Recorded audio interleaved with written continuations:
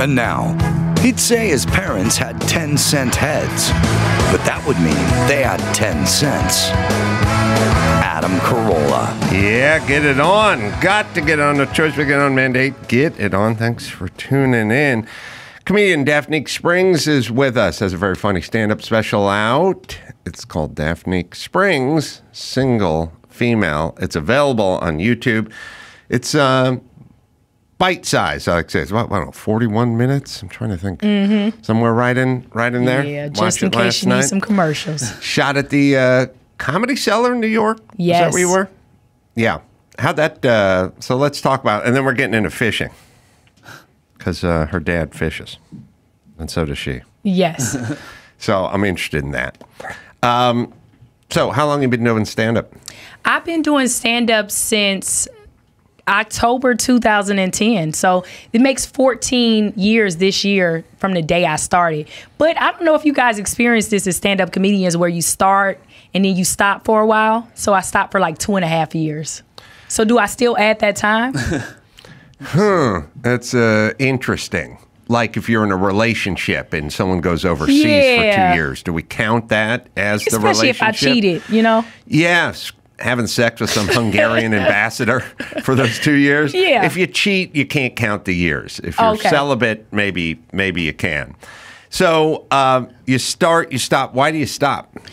I think when I first got into stand up comedy, I didn't realize how much of a like a real career it was. I think a lot of people that's why so many people think they can come jump jump in the lane nowadays is because it looks fun, but you don't really understand the whole crafting of a joke and the punchline and the setup and and captivating the audience and then altering towards another audience, you know.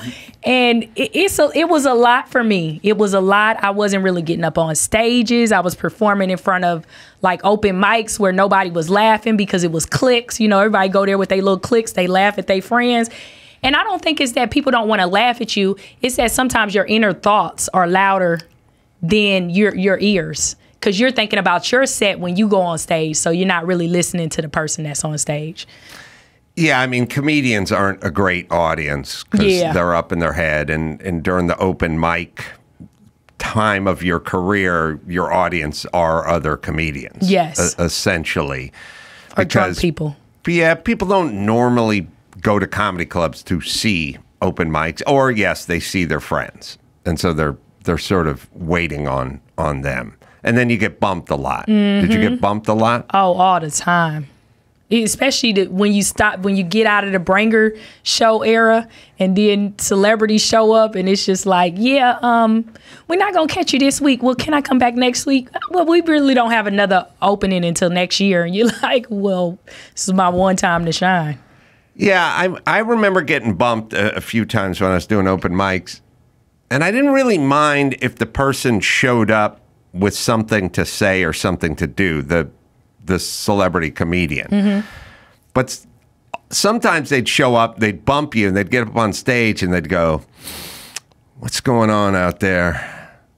Where are you from, Sweaterfest dude?" And I'm like. I, I'm getting bumped so you can literally just stand on stage. Like you don't need more stage time. Now, if you need to work something out, by all means, work it out. But if you're just hanging out on stage, I never that I didn't I didn't get that part. Yeah, and that, yeah, where they're just they're just interviewing other comedians, and then when they get off stage, they wouldn't even talk to you again. So yeah, yeah, I Yeah. definitely feel that. Yeah. Now, would they back when I did it? They thirty people would show up, fifteen slots would be open. They'd put your name in a hat, and they just like Oh, the pull, lottery. They just pull the lottery out of there. Did they do that? They still do that? Yeah, it's still like the Powerball and Yeah. the Mega Millions. You're Yep. just waiting on your numbers to get called.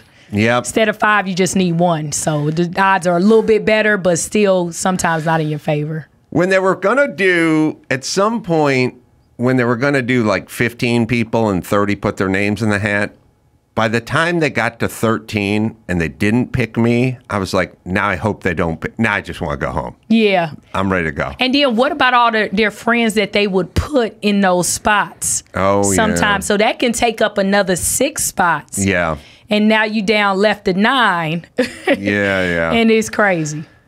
Yeah, it sucks, but you know everything sucks at the beginning, Always. and then uh, and then you work your way through. That's and now how you, you got know a who's special. built for it. Yep. So I was talking to you off the air about uh, your dad, prolific fisherman, Yes. fished every day. Every single day when I was a kid, we fished. I'm from South Florida, but we lived a short time in uh, Minnesota, so we used to fish up there. So that's where I was introduced to like freshwater fishing. Did your dad go to work in the morning and then knock off at three in the afternoon and fish, or he, or he just fished? Oh no, no, yeah, he definitely worked, but my dad was the type that he would go before work and he would go after work. That's how much he loves fishing. I can't. I'm trying to think of, uh, pardon the pun, the allure of fishing. Guys love fishing. I've done it enough, and I never really fully get it. Like when when we're doing it, like there's the guys that love fly fishing. Like Jimmy loves fly motion. fishing. And I went out fly fishing with you know it's 12 hours, 3 days in a row, uh, just kind of standing there, just doing the fly thing. You're always in motion. Nothing right? ever really happens. Mm-hmm. I don't know if they're just sort of saying, I want to be left alone, I want some zen, or there's something about the activity that really um, satisfies them. But I, I, I, can, I never fully get fishing. Like, is it a psychological thing? Is it a practical thing? Is it an emotional thing? Is, is it like I'm, I'm getting food for tonight? I never thought I never thought about it from that aspect. I will say this. From fishing in freshwater fishing and then deep sea fishing. Deep sea fishing, you always find fish. Yes. Because all you have to do is go on your boat, turn on the fish finder, because my dad owned a boat, and we would know if we was under the under fish was under us, or we knew if it was a reef, and then we can just drop down and catch fish. It's always drop in, drop out, drop in. I remember some sometimes like you get in schools, they call that that's where fish are uh, swimming by the thousands, and all you have to do is throw out there. And we tie guppy rigs where you put like three hit hooks on there and a weight on the bottom. You can catch three fish at a time. Now freshwater fishing. That was so slow.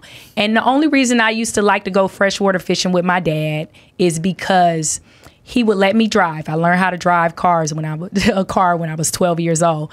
And it was this place in Duluth, Minnesota, where this man he was in a bar and he used to make the best cheeseburgers. So I would go for the driving and the cheeseburgers because the fishing was just like.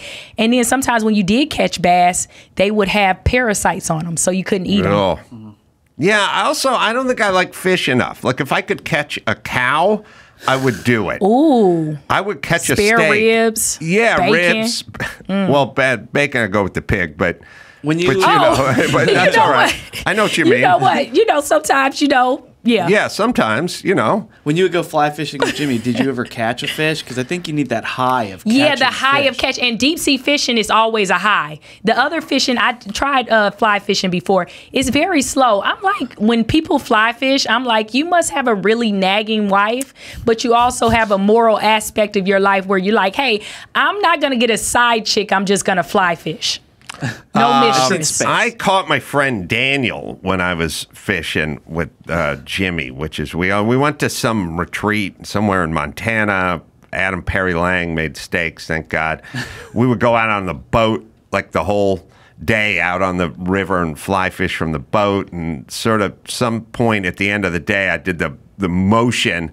And maybe a wind gust kicked in, and I flung forward, and I caught my friend Daniel in the neck, and it went all the way through his neck and was like pulling on his on his neck, and it went through and through. Wow. And uh, the guide was freaked out. The guide's like, "Oh man, I never saw this before." Although the guide stopped on the shore an hour earlier to meet up with one of his buddies so he could get high with with him. He had one of his buddies. what like, kind of high?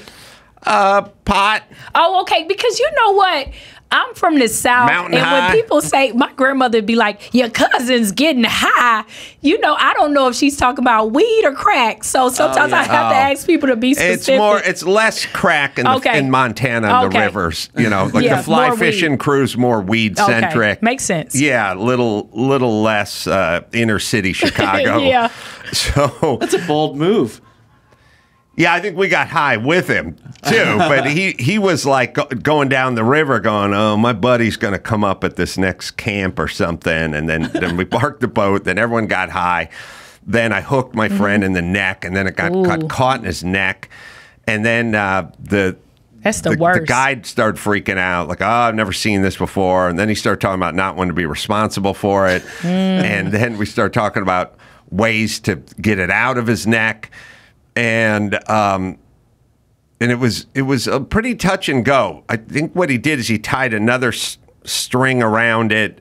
And then we pulled the skin real tight, and then he just Oh my whipped it, just like like yeah. like like uh, when the Three Stooges try to pull a tooth, they just tie it to a string and put it to a Wow. doorknob, door. slam slam the door. That's how we did it. Yeah, because hooks, uh, they're not just smooth on the end. They actually they curve and then they have another little thing on the outside of the curve. A so yeah, you can't just pull it out. Yeah, I I know. It, I felt bad.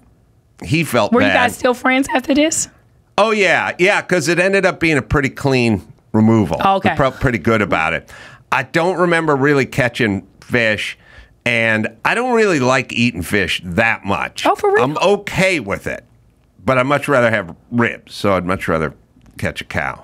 But uh, but you'd go out and then you'd sell the fish dad when you're in Florida. Yeah. Uh, so I remember my dad. We used to just he used to just give away the fish. We used to catch so much because Florida they have a lot of fishing limits.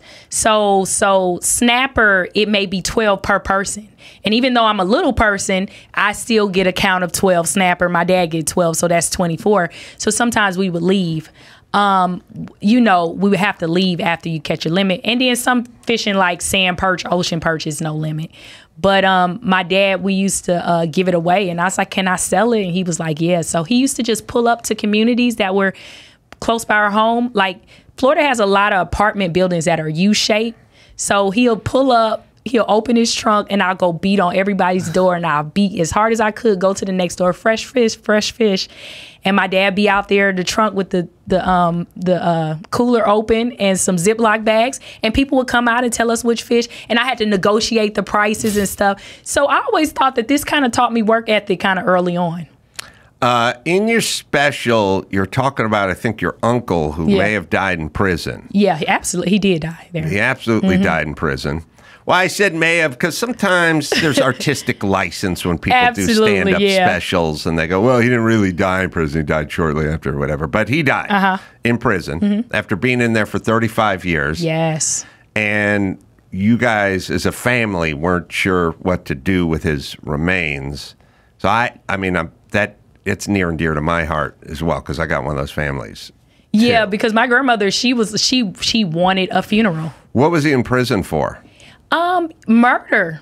That makes sense Murder. for 35 years. Yeah. Um. So he's from South Florida. It it, it made, I, if I'm not mistaken, you know, I was very young, maybe like two.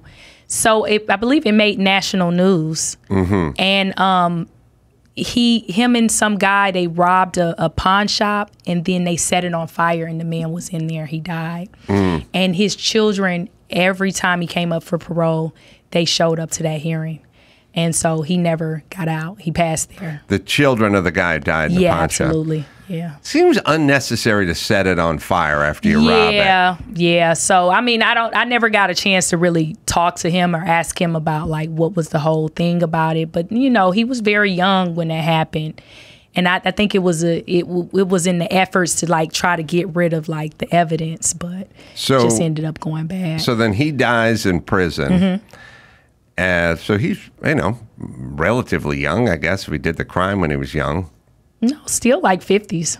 50s. Yeah. All right. And uh, now the prison says what when somebody dies in the prison? Oh yeah, they give you a couple of options. They can ship you the body, um, and they charge you for that. Yeah, two grand. And then, or they'll uh, cremate the body for you. In the prison. Yeah. So they'll cremate. I don't know if they do it in the prison or out, but they'll cremate and send you the ashes. How much does that cost? I, I think like 700. Yep. So, Mm-hmm. All right. Okay. so yeah. when I thought about it, I was like, yeah, that's in that shipping the body. It doesn't include like the funeral cost. That's an extra two thousand dollars on top of the cost. Mm. Yeah. So what'd you guys go with? we end up going with shipping the body. You know. You shipped the body for two grand. yeah, and had the funeral. And then what was crazy is that the uh, Wait, how far were you guys from the prison? From Florida to Georgia. So all of us had to fly into Georgia. My Uh-huh. my fa- my family is originally my father's side and my mother's mother are all from Georgia. So I'm guessing if you got to ship it to Oregon, it's more than two grand. Uh, They- yeah, I they don't have know. to do yeah. well. Like but listen, Florida to Georgia. it's like you ship a car from New York to L.A. It's it's three grand, but if you ship it from L.A. to Santa Barbara, it's four hundred bucks. you know, Yeah, like it's yeah. a, there's a da- there's a distance, diesel Yeah. fuel. Yeah, there's probably a shipping calculator on the website that. So they they By the ship weight. they ship them over, and they must do it in like a refrigerated truck or something. I'm not really for sure. I wasn't a part of the process, Did but you- I'm pretty you sure went to we saw the body. Yeah, so it was it was embalmed, you know, and stuff like that. So and do fat people cost more? Oh, that's a good point. I don't think they do. I think they're like the airlines that they just have a have a fee. I wish they weighed Okay. everybody. Just standard. I'd be fine with that. okay, I'll be riding for real cheap. Well, look, you know, uh, uh, corpses aside, um, there's a price. I don't think like m- I don't think most Americans think this way, but there's a price, and and it's a ticket price, and it's based a, a lot on weight because Jet A fuel's expensive, and weight is what they have to move. You know, and so if your luggage is over 50 pounds, then they charge you for whatever. Right. And if you have an extra bag, you know, then they charge you for whatever because it's it's like weight oriented. So if you're 130 pounds like you are, I don't know how much you weigh, but you- 135, you was on, 135, yeah. you look fit. Uh, but the average weight of the passenger on the plane is 185. Mm-hmm. Then you're subsidizing those people. Yeah, but I'm paying just- the same ticket price. Right, by subsidizing them. That's mm-hmm. just how it goes. You can look at it as you're paying more or they're paying less, or you're both doing a version of you pay more and they pay less, and you, you meet in the middle, but that's those are the facts. Yes. And when people go like, "Oh, why should I have to?" It's like because that's life. That's how it works. Uh, When you go to the stupid salad bar and you make yourself a salad, they just weigh it. And then they charge you 16 bucks or they charge you 9 bucks, but it's the weight. It's how much salad did you get? Yes. And if they just had a flat rate, then the people loaded up on stuff would be getting away with it, and the people who didn't do it would be subsidizing them. I don't, I don't get why that's a hate crime in America. It's like it's just weigh yourself. It would incentivize you Uh, to exactly. Cheap people would act like they were going into a UFC fight trying to make middleweight. You know, Yeah. You, Trash would be looking the at your wife. She'd be in the sauna with Vaseline spread all over and a trash bag over her head. And like, where? You, I'm going southwest to Phoenix in two days. I got to cut weight. Okay. Right, and then you'd be in the kitchen, and she'd be drinking water, and you'd be yelling, "Spit it out! Yeah. Spit it out! And when Everyone you get to the gate, you the like, did you pee? Did Oh, you yeah. pee? Take these salt tablets." and then when we got to Southwest to weigh in, they do the move where she even removed her underwear, and I held the towel. In front of her, like when De La Hoya would weigh in, I just hold it up in front of her, get the weight. Yeah. And, then, if she they have a couple of spots left, you just got to fight it out. we could go to Guy Fieri's bar Mm-hmm. and rehydrate right after we weighed you. Yeah. You know what I mean? Like you, you'd you'd weigh in at you know 147, but you'd be at 172 when you walked onto that Yeah. plane. You'd have enough Bloody Marys and sandwiches in you to completely rehydrate. I So- support this. I support it. Yeah, you're lighter. You shouldn't have to pay for the I fat agree. people. So, uh, your uncle, Mm-hmm. who you never really knew that well, No. because he was in jail for 30. Yeah, in Florida. So I've kind of been all over. And then it was like northern Florida too. So Did he get 35 years or was he in Oh, for life. 35 Life. years? Life. Life. All right. Life. And so uh, then they ship the body for Mm-hmm. two grand. Then there's the funeral yeah. for two grand. Oh, I don't more. know. Yeah, it's probably more. more. And yeah, they do because a casket is just even that price alone. Oh my then you got to rent the church, and then. But one thing about um, family, re- I mean, I call them family reunions, but sometimes funerals is uh is that you know all the family will come in and pitch in on food. So you'll have Mm. the repast afterwards, and everybody bring potluck style. So it's like How does uh, my family, uh, the white family, atheist, but Ye- they they did their old school potluck too. but that's because they were super lazy and they wanted everyone else to cook everything. So they farmed everything out. But I feel like with the black community, it comes from a place of love. Yeah, the White food is people good. comes from a place of cheapness and lethargy. I went to a um, white person's house for Thanksgiving, and I left. I left still hungry. Oh, really? Yeah. Oh, man. Did they screw up? the- What was it? The macaroni and Mac cheese? and cheese. Got to play that tape, that mac and cheese lady. What what was that? I- Is the problem okay? Is the problem with white people's Thanksgiving is they get too cutesy with it? I mean, they're serving salmon. They got some uh, poached- all very light. It's yeah, very they, light. They got some broccolini. Yeah. It's like I want. I want wanna ca- live. I want I candy live. yams. I Yeah. want candied. I want some candy goddamn Mm-hmm. yams. I want potatoes. Like I want heavy. I want stuffing. Yeah. I don't want your version of Thanksgiving. I want fat ass, old school, heavyweight Thanksgiving. which I think is cool for Thanksgiving, but it's a problem when you eat that outside all the other days of the year. Yeah, but is- just for But Thanksgiving. Thanksgiving, I want to go all out. So what happened? You went to the. I mean, Yeah, I just felt it was a lot. It's string beans, Mm. um, no seasoning, Oh, Mm-hmm. sweet potatoes but whipped, Harry. Mm-hmm. so no no brown sugar. no brown sugar. No the mini you know- you know- marshmallows. No. Mm-mm. I just felt yeah, light. I- they farmed I was it like, out. I could live till I'm 115. Do you I think they could walk in farmed it my out? 90s. I think they go to Gelson's or something and they farm that shit out. yeah. I I uh well let's listen to the to the lady with the mac and cheese, which always makes me Yelling me at her niece. Yeah. For getting too cutesy. We told you don't put that shit in the macaroni cheese, but you insist on putting it. So since you want to do things your damn way, we gonna do shit our way. We getting ready to go upstairs and go to sleep while you clean up all this shit for Thanksgiving. Happy Thanksgiving. We love you, but guess what? This shit ain't fair that we couldn't even get a decent thing of macaroni cheese. We got to wait to go back to Goose for Auntie Karen to make us some damn macaroni and damn cheese. Cause you decided to do some bullshit you done seen off the damn internet. Don't experiment on damn Thanksgiving. Don't experiment on Thanksgiving. you experiment by your damn self. cooked with cream cheese before. Hell, don't try it with us. we don't want that Mm, shit. jeez. Auntie Karen gave you the damn recipe, but you chose to do shit on your own. Yeah. Can't do that. Don't experiment on Thanksgiving. And Yeah. Don't experiment with mac and cheese. Macaroni and cheese in the black household is like a main event. Yeah. Yeah, you can't just play around with that. So you went, I mean you made the mistake of going to white people's house for Thanksgiving and you walked away Like, unimpressed. Light. yeah, They have turkey. yeah. I They- felt healthy. They have uh, beef in there. Ham. No, no, No. there was no pork. Ooh. Yeah. Sorry. I mean, on behalf of white people. I added people. ten years to my life though. so you, uh, so you ship the the body Mm-hmm. back. You had the funeral. Cost way too much money. I got the, I so man, I got a lot of range in in funerals Oh, you do? in terms of money. Mm. In terms of money. I mean, I don't know who has a bigger chasm than than me. My family is all in the Neptune Society. Your dad would like it because they take you and they dump you in the ocean.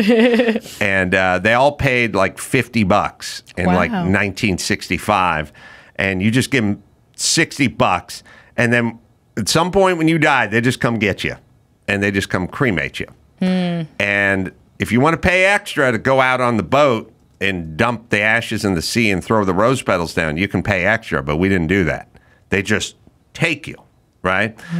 So my grandfather and my grandmother were in the Neptune Society, hmm. so they just come take you. You don't do, there's no headstone, there's no urn. Wow. They don't return the ashes. There's nothing.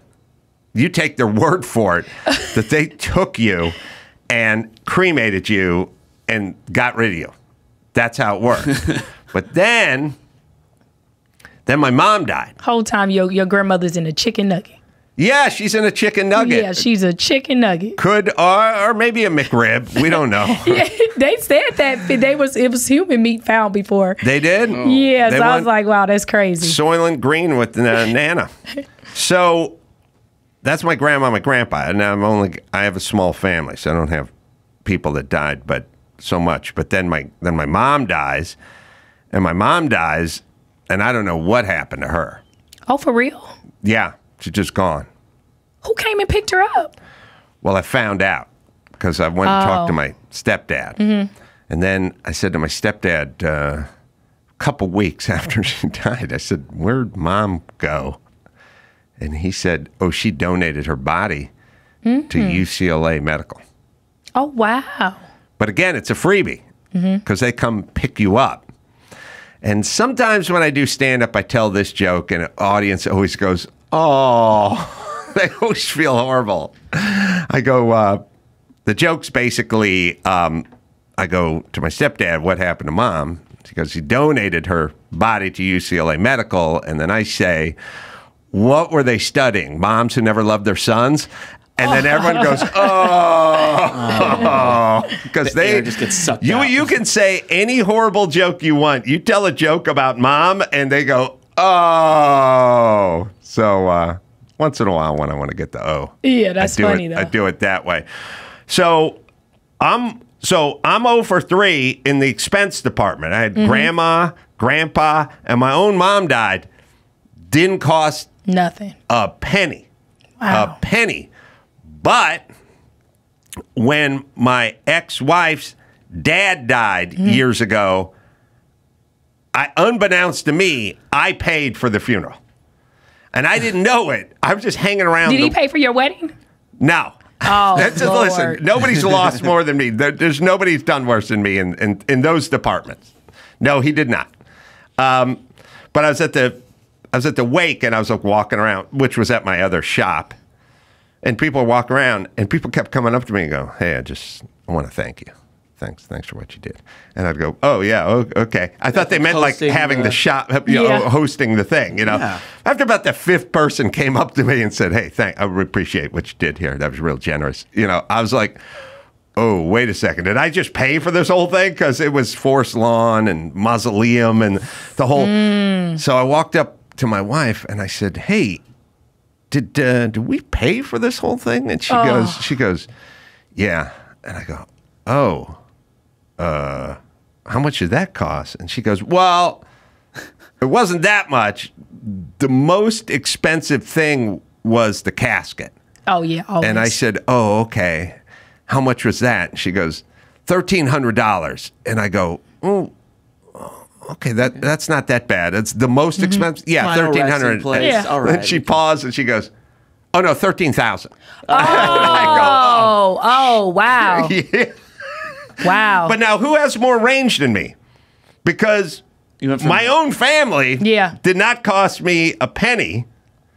But my father in law, I got a th- 14, 13 and change casket You going up even. in here. so that's that's some range, right? Yeah. I don't know who many who who have that kind of range. yeah, that's a lot of range there. Yeah. Caskets are like little little baby houses, huh? Little They- small homes. Yeah. Yeah. Yeah, they ain't Do you appreciate a good cheap. casket? The craftsmanship? Well, the problem with that story is I was like thirteen thousand. I mean, it, by the way, it was probably thirteen thousand eight hundred and twenty-six dollars. It wasn't Uh, uh thirteen. you know, Okay, it was- four, we- we- plus taxes. Right, right. We were fourteen, and I remember, I remember it was this very slick, unique cobalt blue mm-hmm. was with like brass handles on it or something. And I go, man, fourteen. I go, how much is a casket? And I. The, like the next day, I said to my assistant, "Man, fourteen thousand dollars for a casket. I don't know how much." And he goes on to Costco. Yeah. he finds the exact same casket. I mean, look, the picture looked uh-huh. exactly the Oh, same boy. cobalt blue with the like eleven hundred dollars. I was like, oh. No. Now I don't know if it was lined nicely. You know what I mean? I, I don't know. I don't know if it was casket for casket. It just Wow. from a photograph. You could have switched. You looked- should have switched them from out. where I was standing, and then the photograph. It just looked exactly. That's like the The auction price versus the dealer price. Oh my god! Yeah. So there's that. So you know, Yeah. we've all suffered. yeah, the wake, the power goes out. You switch the casket. Lights turn back on. Nobody's the wiser. I, I think the deal is is you're going to get the deal from Costco. If you go into the funeral home, oh yeah. They're gonna. yeah. that's basically like you Those people are going. millionaires. That's like Caesar's Caesar's Palace mm-hmm. has a shop where you could buy belts and shoes and stuff, but you're going to pay. You buy a watch at Caesar's in the gift shop, you're paying top, top dollar. But the kind of like just personality you have to upsell people that are grieving. I will file this under many, many jobs I couldn't do. Yeah. There's no way. Yeah. Could you do that no, job? No, no. I had a friend tell me the other day she actually does the makeup on dead bodies. I'm like, what? Really? Yeah. No. I don't even like to look at them at funerals. It looks weird. Yeah. But I will say this about her and that job. The makeup on a dead body, and it sounds pretty morbid and it sounds like a you know tough job. Mm-hmm. But that makeup job is going to go into eternity. That Mm. makeup, he- that person's going to meet St. Peter with her makeup. Yeah. That person's going to the ground. And if you dug them up 10 years later, they'd still have her makeup on versus makeup for porn star. oh yeah. Soon as she hit the pillow, face face down, ass up, it's gone. I'm thinking about other stuff hitting her. Oh yeah. You know what I'm saying? Yeah, that smears. Yeah, yeah. I mean, you do you do the makeup for the Oscars. You get the makeup. I mean, let's face it. We all want our art to live on. It's called makeup artist. Yeah. So you do the makeup for a celebrity, Zendaya. I just like yelling that. You do Zendaya's makeup for the Oscars. Uh-huh. You're doing it at noon, one o'clock that day. You know, Yeah. and then she goes out, does the Oscars, goes to the governor's ball, goes to the part Mm-hmm. Vanity Fair party, whatever. She'd come home at two, three, wipes the makeup off. 14 hours tops. But you get a good run. Yeah. You had a decent run. You do the porn star, 20 minutes, half an hour, quick. pow. Yeah. Gone. Gone. You do the person in the casket, eternity. Why don't you Mm. tell that to your friend? Yeah. I think she take some solace in that. Yeah, I mean she'll probably feel good about that. She's like, yo, I'm taking this all the way up to the gates of heaven. That is the last Or to look It this person, depends on and the there's no wet wipes or anything. There's nothing they're being buried with. That's just them. Yeah. Yeah. I always wonder if you, when uh, you go visit St. Peter and you going up to heaven, are you the age that you die? Because I, I should probably go now. Because Oh, And yeah. can I go with my plastic surgery? Oh yeah, do that. Yeah, or does that stay on Earth? You know what I mean? I, I always wondered that. I feel that way with celebrities who die when they're like 85 and we've forgotten about them, but they were on Falcon Crest in the 80s and stuff. And then they show the old man picture. Just show show them in their prime. Let's see the. Prime. Yeah. Let's see the prime. Yeah, let's see I want the to see them at the best. That's the best part about being a ball player. They always show you a picture of you in your prime Michael because Jordan you're in in your uniform. You, Yeah. you know That's what I how people mean? recognize you. That's- You are at the height of your powers. You're 28 years old. That's how they recognize you. Yeah. You know, Charles Actors- Barkley now scary. You know That's what I mean? right. Bad All right. knees. Why don't I love that guy though? Why don't we do? Uh, we'll take a break, right? Yeah. and then we'll do some news. Let's do it. Daphne will hang out. We'll do that right after this. Just thrive. Life can be a little overwhelming, and it's not just your mind that suffers. Stress messes with your digestive and immune system too. Just calm. The breakthrough new stress busting formula from Just Thrive.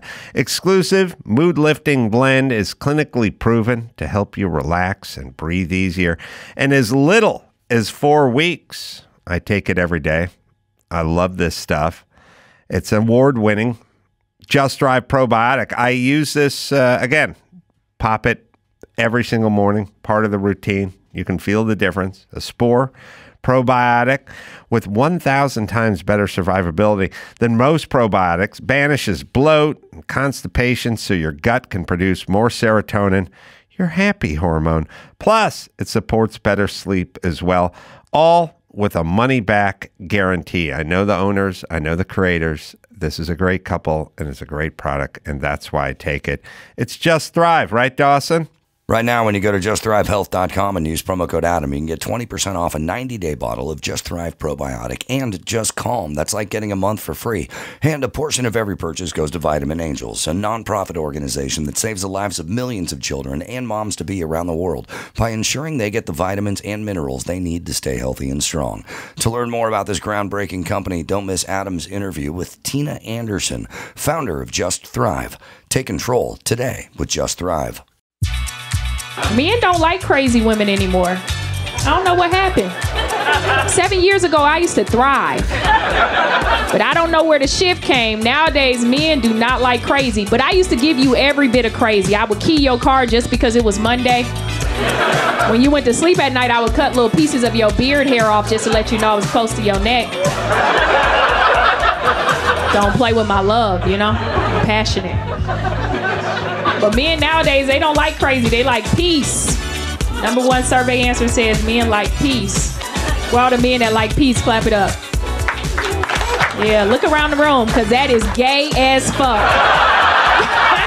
Daphnique Springs is on the Adam Carolla Show. Daphne's got a stand up special. Daphnique Springs, single female. It's available on YouTube and it is very funny. So check that out. She's going to hang out. We're going to do some uh, news with uh, Chris Laxamana. Yeah, let's talk cosmetics. I know Daphne is. Uh, you have a cosmetic line, right? Yeah, actually, I do. I have my own lipstick and lip gloss line Just for corpses or for regular people too? for regular people, but you can put it on that corpse. All right. They don't discriminate if you're alive or not. Um, so uh, there it is. So um, Dove, they have announced. You know, obviously we know them from their marketing campaign around around real bodies and beauty. So they have announced that they will never use AI bodies in advertising. Because I guess that's going to be a thing now. I mean, I don't, I don't know if you've been scrolling like Facebook, for instance. I know you're really familiar with Facebook, Daphne. Daphne. Um, so they all the pictures are AI now. Like they put celebrity photos up. They're just they're all AI. They they they smooth them out. They make their bodies look um, different. Bigger bigger butts, bigger boobs, bigger muscles, things no like that. cellulite. Yeah, it's crazy. So, um, so Dove is on it, and they're like, "Look, we we are not touching AI." No, they're heroes. Yeah. Or who gives a shit? Oh, I don't know. I listen. I, there's a aesthetic. Uh, forget about human beings. There's automobiles, mm-hmm. and everyone agrees a Ferrari looks better than a Yugo or Pinto mm-hmm. or Daihatsu Charade. And um, unfortunately, some people are born into a Daihatsu Charade body, and others are born into a mm-hmm. Ferrari body. But the good news is, is most of the population is in the you Pinto know body. Pinto body, Camry, you know, utilitarian. It'll work. And by the way, there's a lid for every pot. You'll find somebody. You'll find some other version of you on the male side or on the female side. So, but there is a this is what we like to look at, and. uh we like it in the, on the male side. We don't really argue with it. You see Schwarzenegger, you see professional wrestlers, you see the action heroes, you see all these all these guys, and you go, all right, I get it. The guy's got big arms and a cleft in his chin, and uh, I'm not that, but I'll I'll watch. Um, I think we, it's okay to understand that with women as well. Doesn't make you better, just makes you. It's it's a it's an aesthetic that we've agreed on. Now we're trying to talk everyone out of the aesthetic, but it's really hard to talk people out of the aesthetic. Now Dove pretends like they're talking us out of what we're attracted to, but uh, listen, all of here uh, here's a here's the thought experiment, and it's super easy who are the most eligible males on the planet? Like you go, I don't know, Leonardo DiCaprio, maybe he's he's one. Sure. Um, and you start just kind of going down the line. I don't know who are the most pop popular. Who who are the most desirable? George Clooney. Mm. Who are the most desirable? Denzel. Well, Denzel Washington married for fifty years, so he doesn't really count. But who are the most desirable males, and who do they end up with? And is it ever the fat chick from the Dove commercial? And if the answer is no, then we have spoken. That's it. That's how we roll. Yeah, you can't because- talk us out of it. for Dove to actually say that, I didn't expect that from them. Like I expect that to be a rollout from Irish Spring. Mm. I expect Irish Spring to be like, "Hey, we don't care. We're never gonna change." Like, but Dove is like Dove. Every time I look at your advertisement, it's always some beautiful, attractive woman and touching her legs in the soap. It's never natural bodies. I mean, it makes sense that Dove goes after the fatties because they use up more product. Ooh, You know what I mean?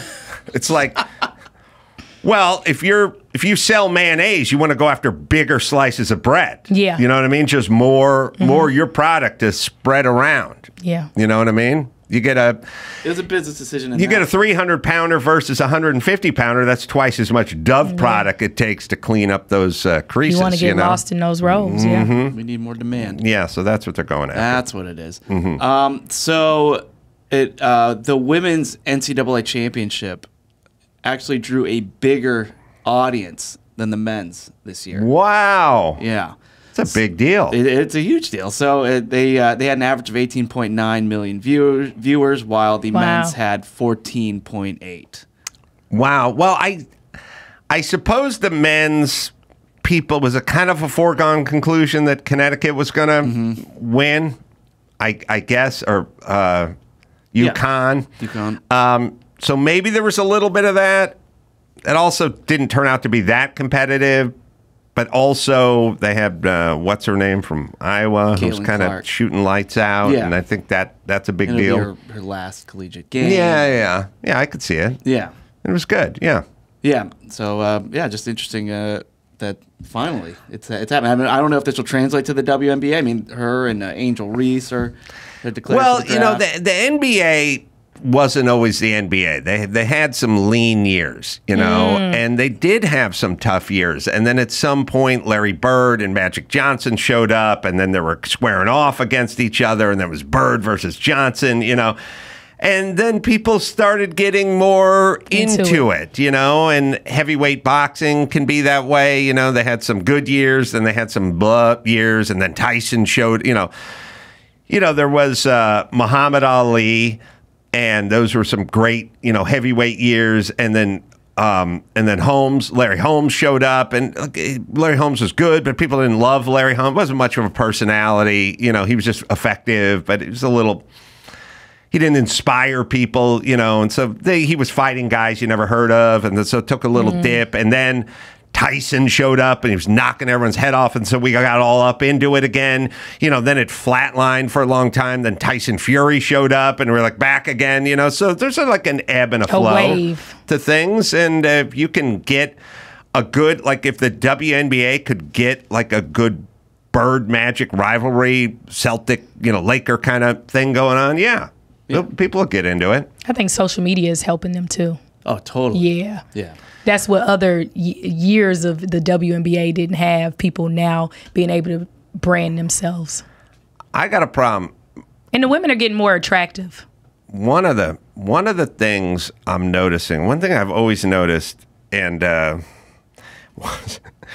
there's a lot of hair now, like big time hair. Like the center, who did Iowa play? Lose to South Carolina. South Carolina. They got like a six foot seven center, and her hair is is big. It's big and it's red, and it is out to here. And she's six foot seven, and she's whipping around. Mm-hmm. You're getting hit with a face full of hair. Like I, I don't exactly know. You know, when you're guarding her and she's backing you in, Yeah. you just got a face full of hair. I wonder what the rules are for uh, that. there evidently are no mm. rules, but I've I- seen dreads. I I've the seen braids, dread. I've seen braids down to the waist, and when Yeah. you whip your head around, it's like, well, psh, like you're gonna tear a Next day retina. you waking up with It uh, actually gives- hairballs. yeah, it gives you an advantage to have whippy hair that you can just snap. well, you're this this chick is six. I think she's like six seven. She's got a Oh, wow. ton of hair. And you're six three, and she's backing you up in the paint, and you're just got a face full of hair. you don't even know what's going on at this point. Then she whips her hair around. She does a pump fake. She whips it around right whoopsh, with Yeah. the hair, then brings it down to the left, and does the That's fade an away. advantage. Yeah, they're going to have to say, like, look, uh, you're going to have to bun it up, or we're going to treat you like you work at a cookie factory. We're going to have to put a net Yeah, on it. Like we're, we're going to have Yeah. to do something, but you just can't have bigger and bigger hair just flying, Because at flying this everywhere. point, that hair is you saying is the six six man on the court. It's the six man. That's right. That hair is the six the six man. You're gonna have to do something with it. Like I don't think let's say um, I don't think the UFC like the women in the UFC will have it braided up and knotted up and tied down. Like Yeah. you couldn't be on top of somebody doing the ground and pound with your hair hanging over their face. Right. Well, that's a Right? disadvantage, right? To have your hair flopping around. Well, you can't grab the hair. Mm. So it would be if you could grab it, but you can't grab it. But it would be a huge advantage if you're just you've got guard on someone, you got mount on someone, and you're just leaned over them and you're ground and oh. pound, and they just got a face full of mm-hmm. your hair. They can't even tell where that shit's coming from. yeah. So they got rules. I think they got hair rules in the UFC. Uh, they're going to have to institute the hair rules in the WNBA and in college and, and beyond because it's getting it's getting out of control now. Yeah. Mm -hmm.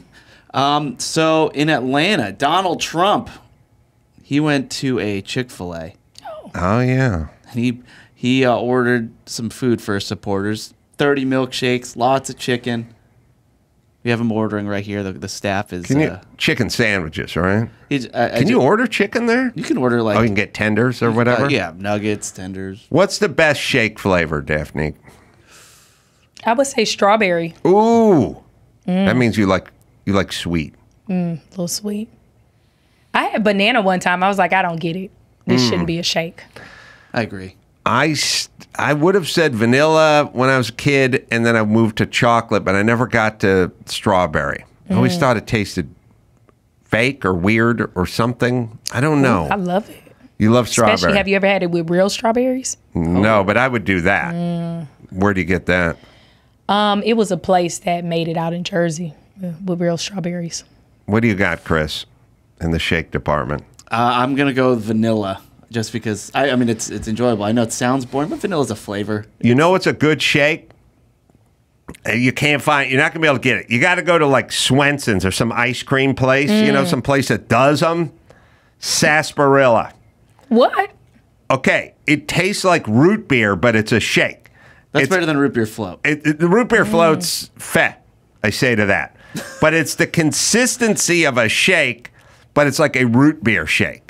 Wow. That's I never had heard of that at all. I yeah. used to get the Coke Slurpee, so I like soda yeah. flavored Yeah, frozen drinks anyway. Mm-hmm. At In and Out, you can do a Neapolitan. What's that? That's vanilla, chocolate, and strawberry. oh, a suicide. Suicide. Yeah. But you know, like the ice cream, the white, pink, and Yeah, brown ice cream. Yeah, I could. I, I could do that. Eventually, just taste sweet though. You don't taste the flavor. But I could do a 50-50 chocolate vanilla. yeah. All right. Um. So Oh, there. you i- ordered thirty shakes. oh yeah. Here, you, we can watch the video. It's, Mm. I love how he orders with his hands all the time. Yeah. Business good? Making a lot of money? Getting rich, right? it's campaigning. Yeah. Look at the way you hope. You like each other, right? oh. Schmoozing. Schmoozing. He is a The schmoozer. local Chick Fil A. Um, so there's this guy. It's it's it's this crazy story. So there's this guy. His name's William Woods. He's homeless. He's living in L.A. and uh, and then he goes to the bank, his bank, and he finds out that somebody's been racking up debt using his name.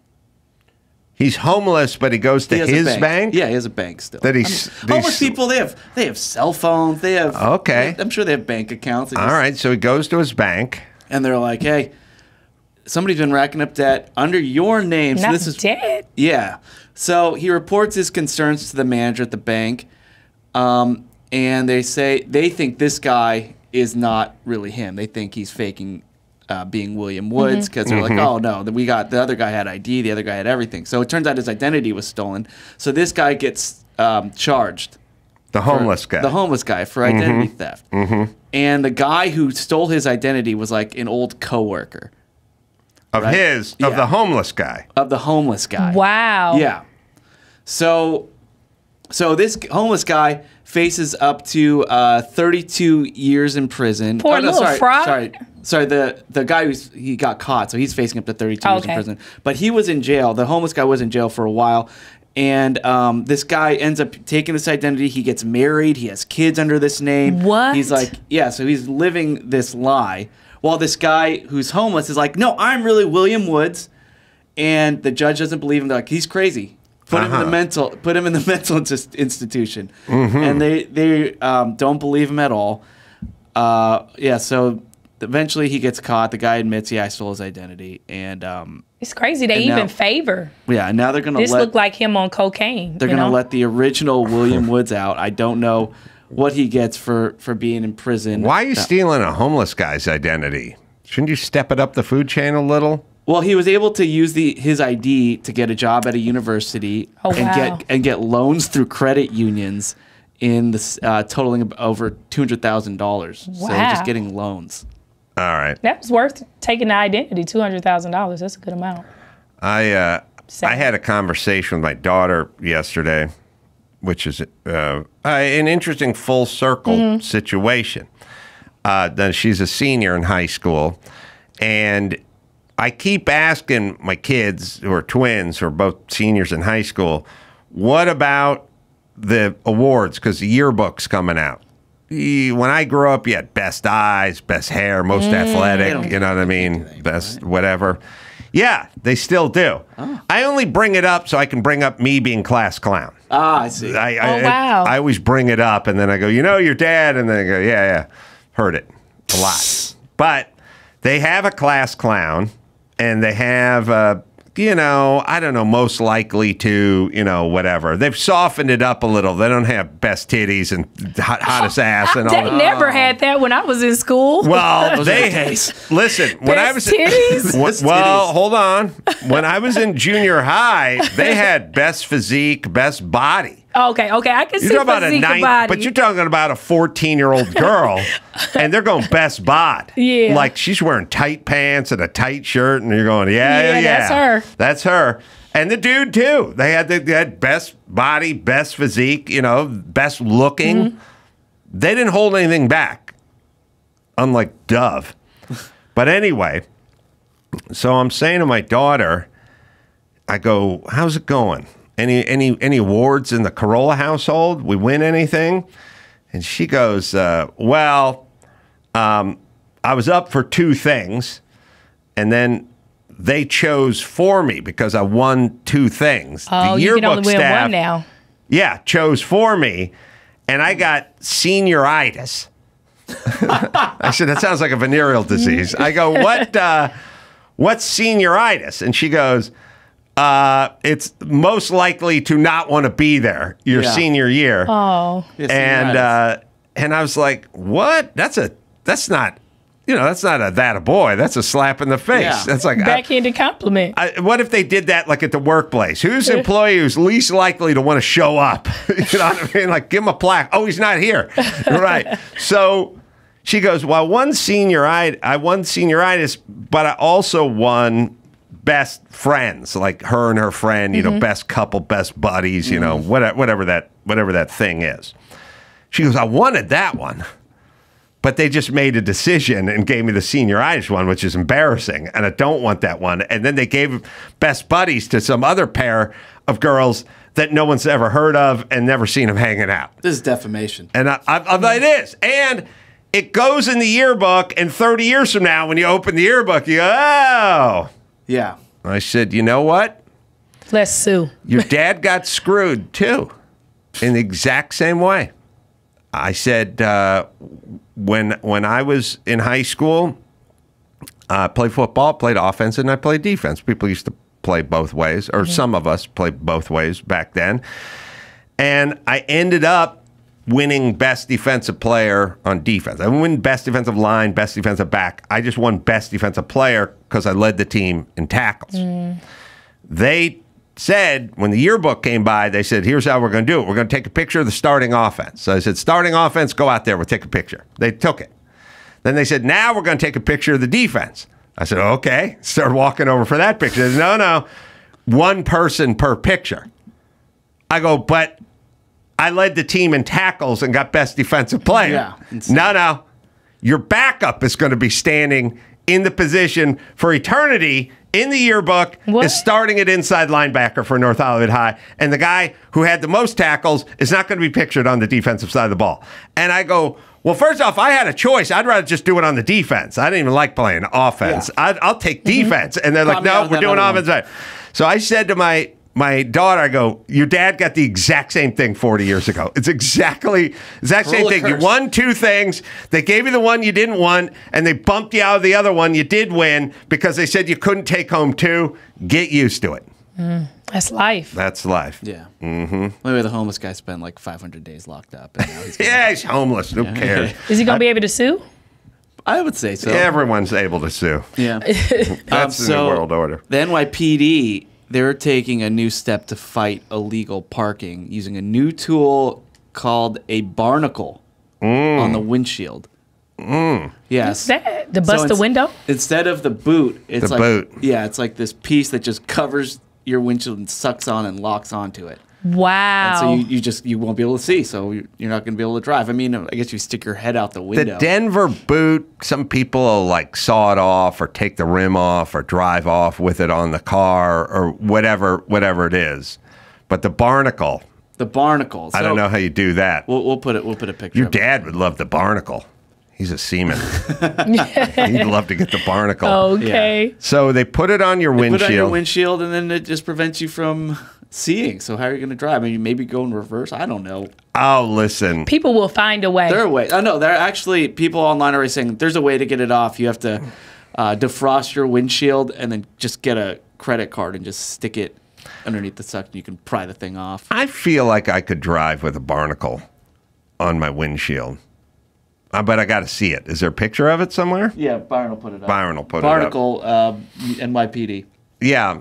Now in um I think it was in a James Bond movie, but it also may have been in the movie Gator, the Burt Reynolds movie, where there was a giant man and uh, like the giant guy Jaws from um, from 007. Oh, wow. Um, he drove uh, with his head out the sunroof. So I feel like I could drive with my head Absolutely. out, out the sunroof. There are ways around this. yeah. And I feel like in maybe like at least a couple of months, you remember the girls who went viral on TikTok because they had a key to the boots, the master key, and they could unlock people's boots. And you just call them and they would come do it. And that Oh, went viral really? on TikTok. So pretty soon somebody will come up with something for this. yeah. Yeah. Well, like I said, eh, might be According able to to the drive. NYPD, they say this makes it impossible to drive. Wow. Well, it doesn't make it impossible to start it, put it in gear, and move. It makes it impossible to see. Yeah. But somebody's going to hit somebody, and then somebody's going to sue somebody. And uh, all right, but okay, the uh, the boot and the barnacle, Yeah. nice. Um, so there, uh, more adults are being held responsible for kids uh, who are like in school shootings. So Yeah. we, you know, you, we we covered James and Jennifer Crumbley, who uh, were sentenced to ten to fifteen years. Yeah, And then the uh, former assistant principal at a Virginia elementary school has been charged with felony child neglect uh, more than a year after a six year old boy brought a gun to class and shot his first grade teacher. So, looks like we're now holding the adults responsible. Well, look, I, I've been yelling about this for a million years. You're responsible for your dog. If you let your dog out, and your dog You bites somebody. somebody, that's your dog. He, you, they're responsible for it. It- When you make stuff people's problem and responsible and held responsible, they magically smarten up and they sober up and they make better decisions. The problem with this is it's going to have to spread out. It can't just be kids going to schools shooting mm-hmm. people. It's got to be 13 year old gangbangers running around on Tuesday nights at four in the morning shooting people too. Where where's the parents? And that's when the controversy's mm. going to kick in because somebody's going to go, all right, fine, parents are responsible. Now, what about your kid running around the streets in the middle of the night shooting people? Aren't you responsible? Then there'll be a big argument about that. So that's what we can look forward to. But yes, you make yourself you you put that onus on the parent. They sober up. Like they start getting responsible, they start getting smart, they start looking through the kids' room. It, it's it's human nature. You don't want to be locked up. Like A, you don't want your kid to shoot anything up, but B, you're on the hook. I mean, like I said, you got a dog that bites people, and the UPS guy hits the doorbell, and you're going to get sued if the dog bites the UPS guy. You go put the dog in the. You, you put them in the spare bedroom and shut the door. Yeah. You just do. That Yeah. that's pe- that's human nature. So good. Yeah. It's fine. Um, God, could you imagine being a school teacher or principal or counselor like in today's world? No. No. Absolutely not. Those kids will beat your ass. Oh my God, they'll throw down, then the parents will come in and start yelling at you. Then you'll get I I And then now you can go to jail because the kid brought the gun. The six year don't. old. Yeah. Crazy. What would you? What would you rather be a cop in today's world or If a I had school to teacher? choose, Yeah, probably a cop. I'd probably say rather cop. be a yeah, cop. I would. Wow, that's a sad state of affairs. Yeah. I don't know. A kid that's not afraid of you. That's a, that's a big deal. That's that's tough.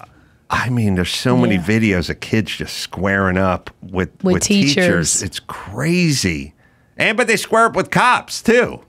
But at least a cop has a baton, a mace, and a gun. And it's nobody- like at, at being a teacher, you have no, you know, nothing can to you fight defend back? yourself. Yeah, I mean- yeah, they get fired for fighting back. Yeah. All right, we're going to hell in a basket. One more, Natasha Henstridge out there. Okay, sure. So um, this happened last week, and it's just a really close call. I know, Adam, you you have a construction background, so this is uh, this is a pretty crazy thing. So in Oregon, this guy was walking into a, uh tool shop, and it, there, there's security footage of this. So he's just walking in, and there's a construction site nearby, and at, right after he walks in, a saw blade just launches Oh, I into saw this. the door. Oh Yeah. my God, he just, Just made it by seconds. seconds. Like, Yeah. yeah, he would totally gotten hit. yeah. He the you know interviews. Does anyone know what kind of saw blade that is? Definitely Michael Myers. Um, It's a Uh, wet concrete saw. saw. That's right.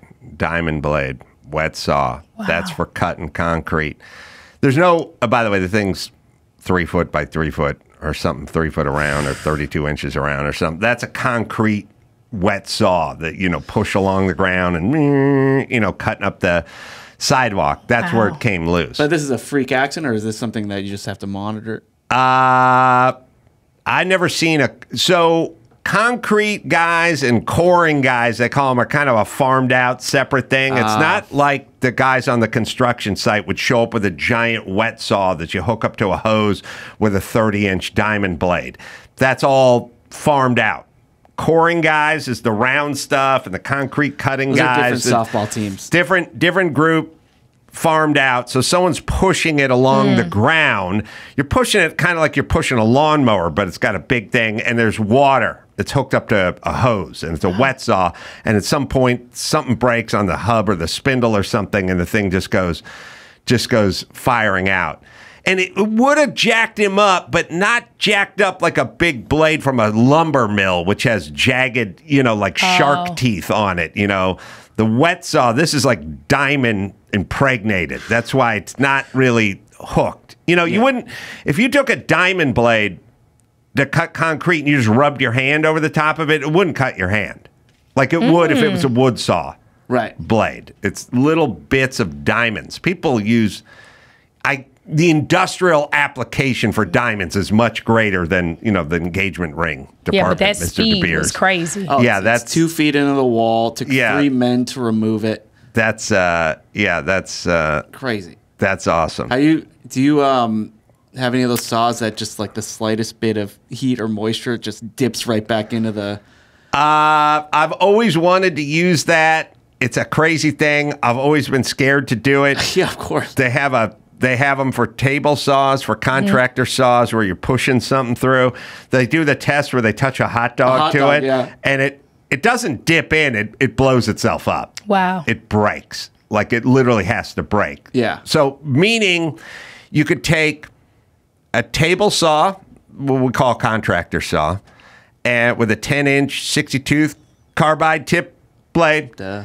and you could fire it up and you could push your finger into it and right when it touched your flesh right when it nicked it, boom, it would just break. It just it makes a break sound. Yeah. Now, uh, I would never have the guts to do it.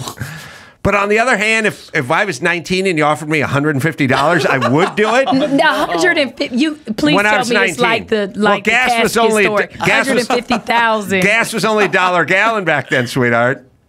You oh know, yeah, you could have got a lot of places. could have got a lot of got a lot of places. Boom! They just touch it with the. Oh no. No, I was always bad. I was always the guy who didn't even. Um, I wouldn't even use. You know, when you're pushing stuff through the table saw and you got the fence and there's only two inches between the blade and the fence, you're supposed to use like a push stick. I would just use my hand and just, you know, I did a lot of freehanding, like dangerous, weird, dangerous, yeah. weird stuff. It's like the mandolin in the kitchen. You ever use a mandolin? Mm-mm. Oh, it's terrifying. You, you slice your hand, you don't even realize it. Oh, there's a mandolin. Yeah. I don't even know what that is. I don't even. know That's what a Rod is. Stewart Oh. song, isn't it? Well, it's also a musical instrument, but oh, yeah. Uh, it's it's it's crazy. I did a lot of stupid stuff. I, I got away relatively un, unscathed, but uh, the the other oh, I see the mandolin. Yeah, what I did, what I was thinking about the other day is I was busting up a sidewalk once out front of uh, the Pier One Imports on Wilshire Boulevard in Santa Monica, and they gave me the big ninety pound air jack, jackhammer. The electric ones are like, bing, bing, bing, bing, bing, bing, but the big ones have the compressor. They and they got a hose. And they go, they make a weird sound, and you go, and it, and they give you the, I think it's the spade, the spear tipped one, and you get the ninety pound jack, and I was just like, I went all the way down. I buried it all the way into the sidewalk, and then you go, huh, huh, and it it ain't going nowhere. Oh, it, It- won't come back out. it's Excalibur sword in there. like it goes down 10 inches, 12 inches, and it's bare. If you don't stop, you got to go down three inches and break it up. Go ah. down three inches and break it up. You go oh. burp. You go down the ground, you're locked in. it's in the sidewalk. And then Wow. You look like the biggest ass in the world because you're trying to pull it out with the thing. It ain't going. So then you have to detach it from the jackhammer, lay the jackhammer down, and start banging on it with a hammer, and just keep banging, like trying to jiggle it around. And you're and everyone's just watching you laying down on the ground, just banging on this thing because you just drove it right in the sidewalk and you can't get it out. That's my sidewalk story. All right, uh, Natasha Henstridge is out there. Uh, Daphnique Springs, stand up special. Daphnique Springs, single female, very funny. Recommended it highly. Thank you. Available on YouTube. Come by anytime you like, Daphne. Yeah, I'm close. Oh yeah, that's right. You're in the valley somewhere. Mm-hmm. Yeah, come by and uh, say hi. Uh, I think we'll do some made-up movie. Let's do it. with uh, Natasha Henstridge, Yeah. and we'll do all that right after this. Rosetta Stone. Oh, my kids are heading off to college soon, and uh, I'm sure they're going to want to do a little travel. So we're all going to have to learn a new language, and uh, if they're going to go somewhere, they should learn it. And learn it from Rosetta Stone, the most trusted language learning program there is. Available on desktop or as an app, it truly immerses you in the language you're learning. 30 years, millions of users, 25 languages Spanish, French, Italian, German, Korean, Chinese, Arabic. It just keeps going. Designed for long term retention. No English translations. Learn to speak, listen, and think in that language. Plus, the built in True Accent feature gives you feedback on your pronunciations. Lifetime membership has all 25 languages for 50% off. So work your brain out, learn a language, use Rosetta Stone. Right, Dawson? Don't put off learning that language. There's no better time than right now to get started. For a very limited time, Adam Carolla Show listeners can get Rosetta Stone's lifetime membership for 50% off. Visit rosettastone.com slash Adam. That's 50% off unlimited access to 25 language courses for the rest of your life. Redeem your 50% off at rosettastone.com slash Adam today. The Adam Carolla Show presents Natasha Henstridge's birthday cocktail party for August 15th. Let's see who's here. Well, first up is French military leader and Emperor of France, Napoleon Bonaparte. Let's welcome the first governor of British Columbia, James Douglas. First Lady of American Theater, and member of the Barrymore family of actors, Ethel Barrymore. Here's the drummer for the Spencer Davis Group, Peter York. Former NFL guard from the Oakland Raiders, Gene Upshaw. Here's original Doobie brother, Tom Johnston. Let's welcome heavy metal drummer, Tommy Aldridge. The guy who wrote The Girl with the Dragon Tattoo, Stieg Larsson, just showed up. Here's the senator from Pennsylvania. Let's welcome John Fetterman. Ben Affleck just joined the party. Hey, it's Jennifer Lawrence. And Bill Gates' ex wife, Melinda Gates. Natasha Henstridge is on The Adam Carolla Show. Cinderella's Revenge is the name of the movie. It's available in theaters April 26th, and we'll talk about that. Good to see you, Natasha. Good to see you again. Thanks for having me on. Yeah, always like talking to you and playing made up movies. Are you sure? Yeah, I'm just kidding. yeah, because you're uh, Canadian nice. I am normally, but I got up early this morning and I'm feeling bratty today. I'm not even going to lie. How's that coffee. happen? I just, you know, I, if there's been a strike, there's been COVID, I don't get up early anymore. So when I get up at 5.30, I get a little bratty these days. That's it. I'm a brat. Is there a thing uh, I've been noticing in myself as I get older? They say as you get older, you need less sleep. I feel like I like more sleep as I get older. I feel like they say that you need less sleep because your sleep is broken up all night long these days. And I don't know if it's from snoring boyfriends or hormones or what the hell's going on, but mm. I don't sleep through the night anymore. So now I feel like I need to sleep in in the morning because I wake up at 2 till 4.30 or something. It's like I have these weird sleeping patterns, you know, like two or three hours at a time. So I I do I have to say like a lot of my friends that are older, my boyfriend's older, he needs way less sleep than I do. Is he a snorer? He's a little bit of a snorer until I give him a good boot in the back, and then he behaves again for a while. I flip him over to his side and stuff. I sound see how bratty I am today. I'm like it, normally I'd be like too. Normally I'm flipped like over? I gently, honey, can you move over? Now it's a boot in the back. When I'm tired and bratty, it's just get over there. Yeah, you know what I would say to the ladies about me snoring is you you've been ignoring that inflate your tires on your dashboard of your car for a year and a half. How about ignoring just a little bit of my snoring? Yeah, I, I'm. Just I'm do what you do with your dashboard No. when it's telling you to inflate your tires. that is so true, by the way. That is so true. engine I, light. every I'd woman I know can ignore that dashboard for at least a year, but can't do five minutes of the Ace Man snoring. Totally. Well, I'd rather drive on a side on an angle and like have like a bump driving down the road than sound stuff. The sound is just. So, and I also think, you know, my my premise is that women are angrier than men. And I. I here's what I think. I think when the average woman is awoken by her man snoring, there's a sharp shot to the ribs. Hmm. I feel like with the guys, it's a little more of a gentle nudge. Hmm. Does that sound right? I'm not a snorer, so Mm-hmm. I don't know the answer to that. But I will say, within like every year, it was like, "Huh, "Baby, can you? Do you mind, huh, sweetie?" Mm-hmm. And it turned from that into like a knee and propping him up on the side. And a couple nights ago, I went, "Sorry, that's it. I'm going to have to smother you." Yeah. And I held a pillow over his head and I said, "It's time to be smothered." And he's like, "No, no." Who so are the people? who are the people who are the snoring deniers? Those are the Oh. people. Totally. Jimmy Kimmel would be a snoring design. I used to spend a lot of time in bed with Jimmy, and I'd go, I'd Wow. wake him up, and I'd go, "You're snoring," and he'd go, "I don't snore." I'd be like, "Okay, that makes me the worst person in the world." Is this if you really think about it, if I'm just waking you, ran, you're sleeping quietly, Yeah. and I'm waking you up for no reason in the middle of the night to accuse you of something you didn't do, that makes me a bad person. Right, right. you really want to and he's in complete- deconstruct it. totally denial. But why Yeah. were you sleeping with Jimmy Kimmel a lot? Is that a whole nother? Oh, on the road and stuff, doing comedy stuff or something, or was we- it sexual? or what was it? It, it, it took a turn for yeah Of for the sexual It of course, but we we does. we used to work for the same radio station. Radio stations are notoriously cheap, Cheap. Mm. like insanely cheap. Like here's how cheap radio stations are. I have my agent, uh, B- James Baby Doll Dixon, was in, in charge of Jimmy and Stephen Colbert and Jon Stewart and Carson Daly, and they all did stuff like when you go to the Jimmy show, they'd have a full open bar. Yeah. They'd have sushi laid out on the bar. You know, the whole the whole nine yards. Pardon the pun. We'll get into that. or Colbert, whatever. Jon Stewart.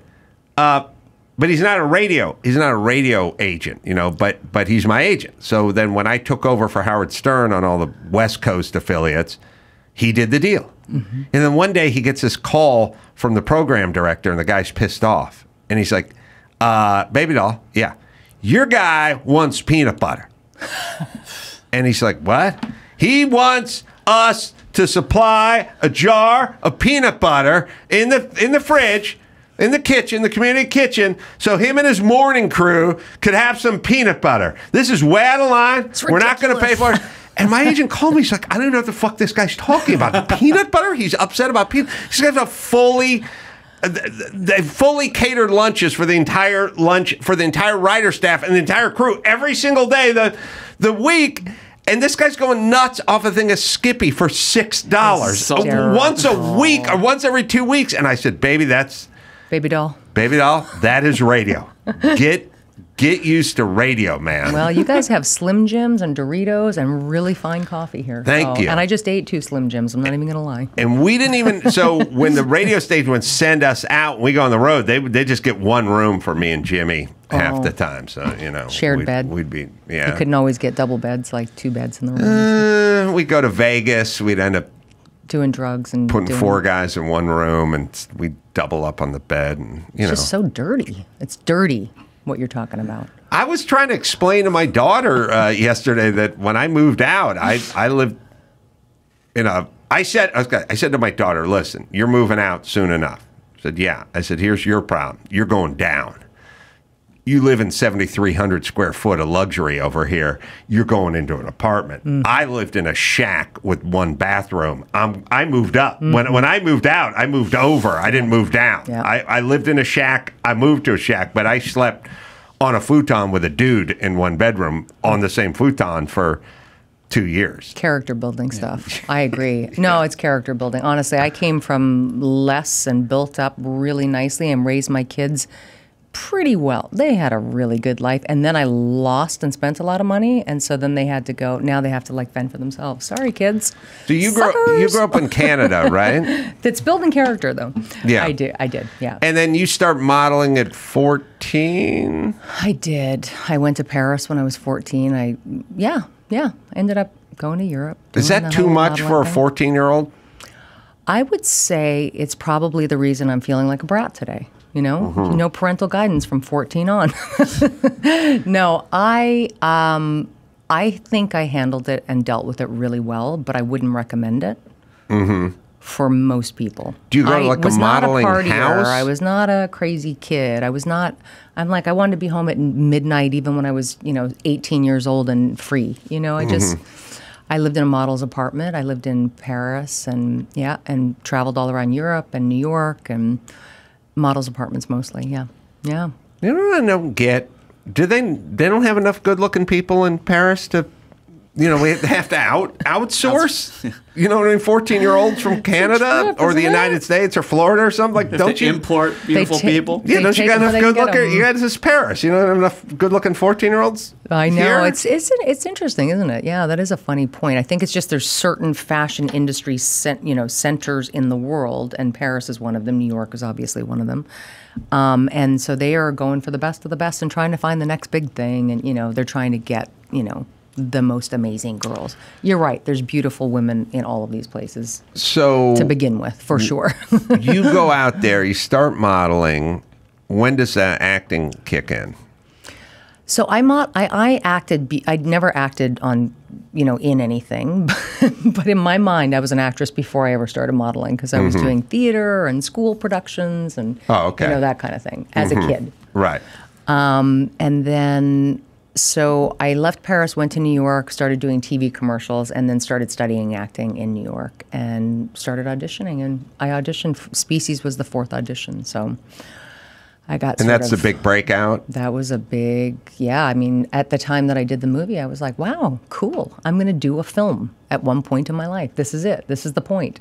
I did not know it was going to lead to, you know, what it led to. So, Were you 19?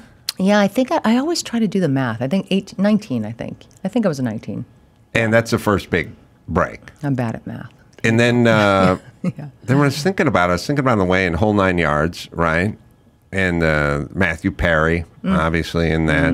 Bruce Willis, Mm-hmm. uh, Michael Clarke Duncan in that. So everyone's passing away. So awful. No, It's- so. I mean, talk about go from a light interview to like stab Yeah, me in the sorry. gut. Jeez, Adam. That's how we do Well, it. yeah, it's- that's how we do it here. We keep you guessing. Wow, geez Louise. No, it's really bizarre. I actually went to one of those signing conventions a couple of weeks ago, um, and so many people are fans of the whole nine yards. And looking at the photo with exactly that, Michael Clarke Dun- Duncan, Matthew Perry was just such a shock, such a shock. And obviously Bruce is, you know, retired and not doing well health wise and stuff. So it's at some point you start feeling really old, right? Like you just see so many people around you and their life and the directions their lives go, and and it's just it's sad. And I'm also super grateful to be here.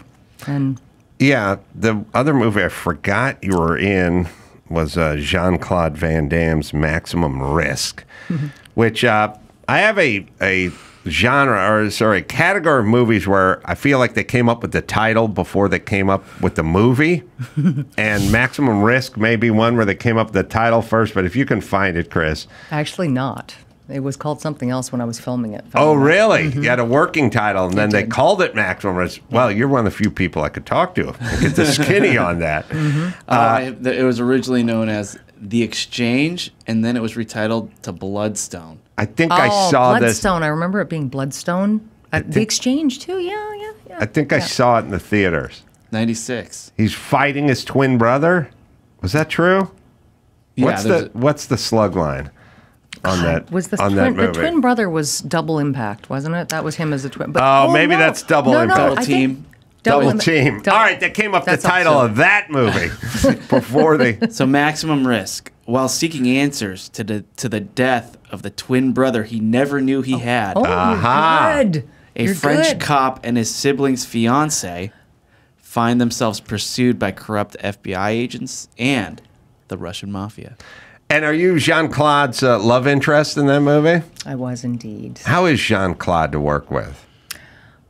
Jean Claude and I had a blast together. We actually had a really good time. We we we had a lot of fun. I mean, he's French, and we were filming in the south of France, and you know they had. He was always going to the gym over, and his lifestyle was a lot of fun. Um, I always felt like he was much more into producing and the overall stuff and training and all of that stuff, much more so than wow. I look pretty bratty and mean there too, don't I? Dang. Um, but I thought I always thought he was more interested in that than the acting part um, of things. But we had a blast together. Honestly, we actually dated for a very brief time during filming. Oh, it was really? like an on-set romance kind of moment. Yeah, Wow. yeah, we had fun.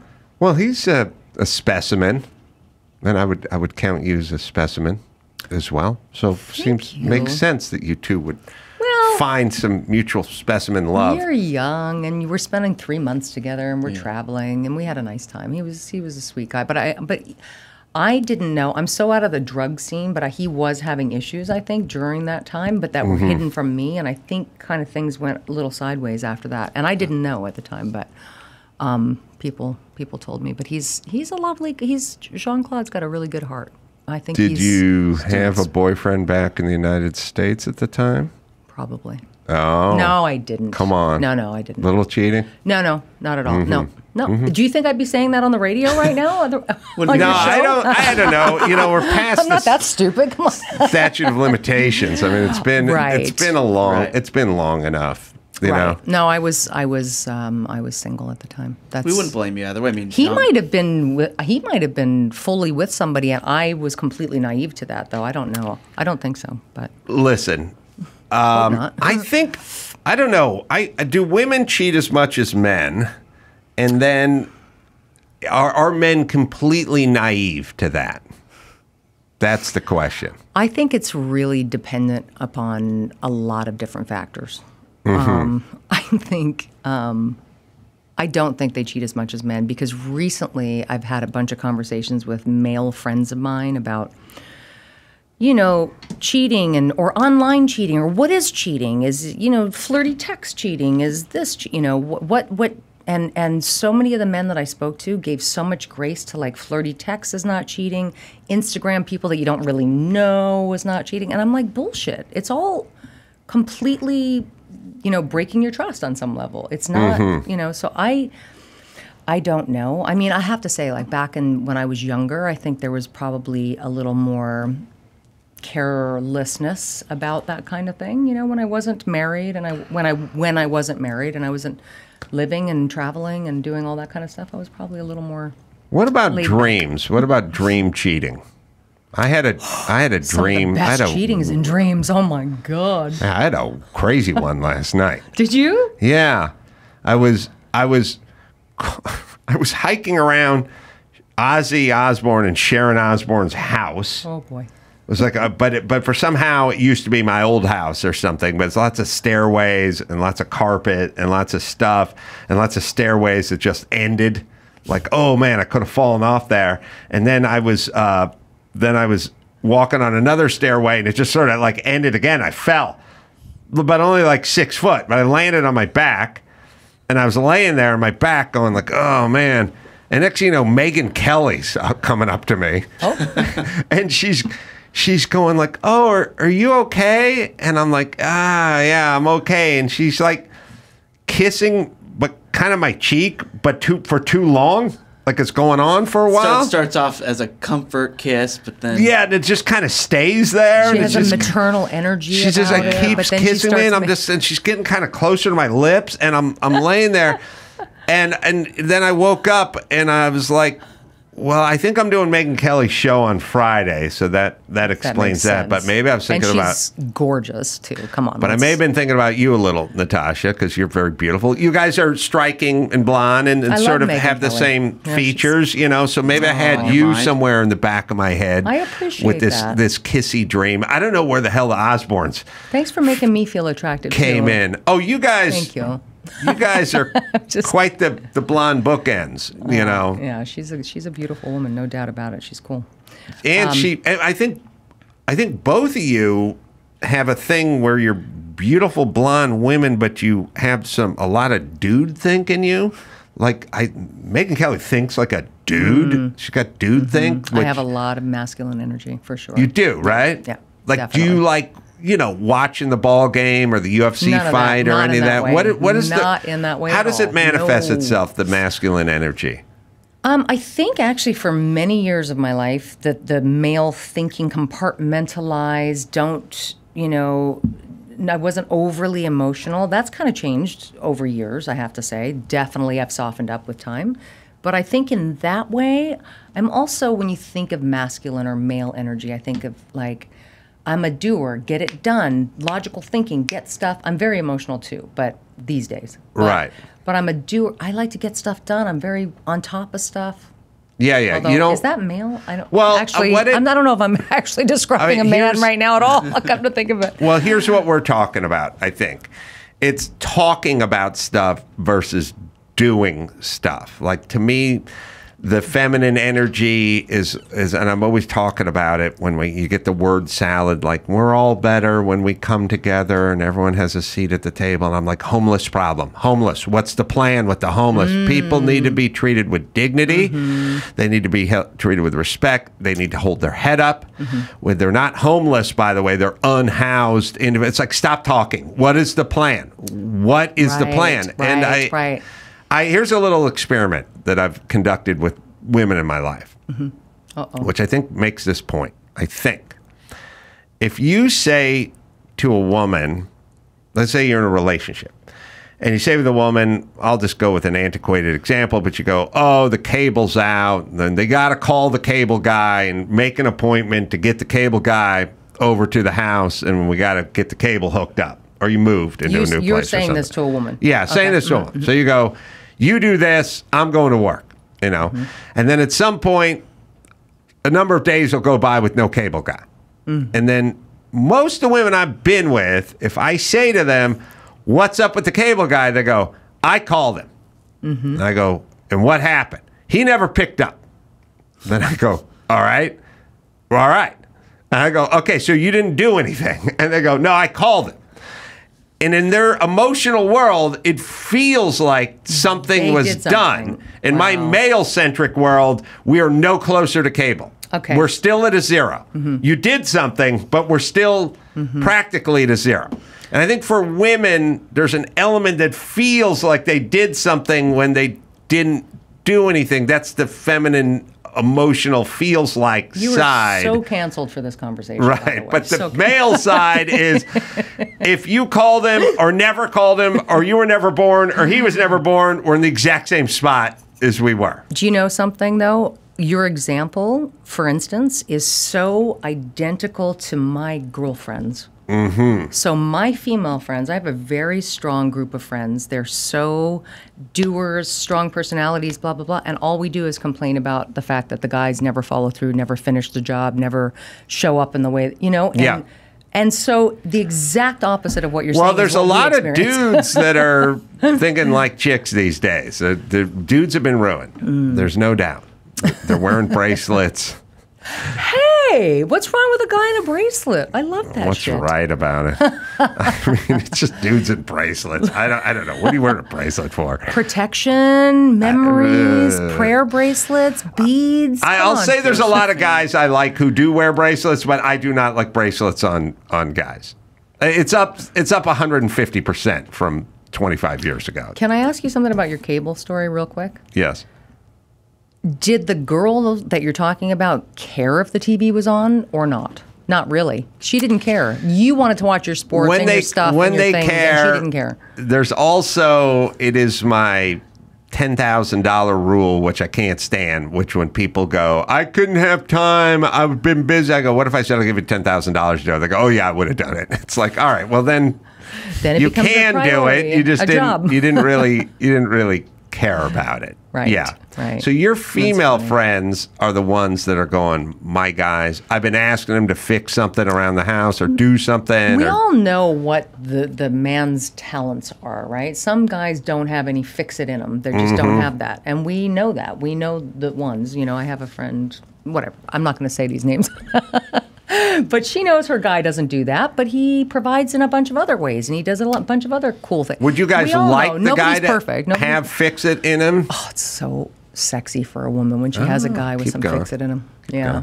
No, it is. There is something about it. It doesn't matter if he's supporting the world and the kids and the, the fact that he can do this thing or fix that thing or change the hey. Mm. no, there's absolutely something very, very cool about that. We like that. There is something in the wiring, right? Still, where there's something kind of attractive about that. All right. Well, let me give you So my you, you're, my you're, thing. You don't know how to fix anything, do you? Because you I, you're making faces, and I'm just assuming you don't know how to fix anything. I'm frustrated. All right, so let me. All right, let me say something.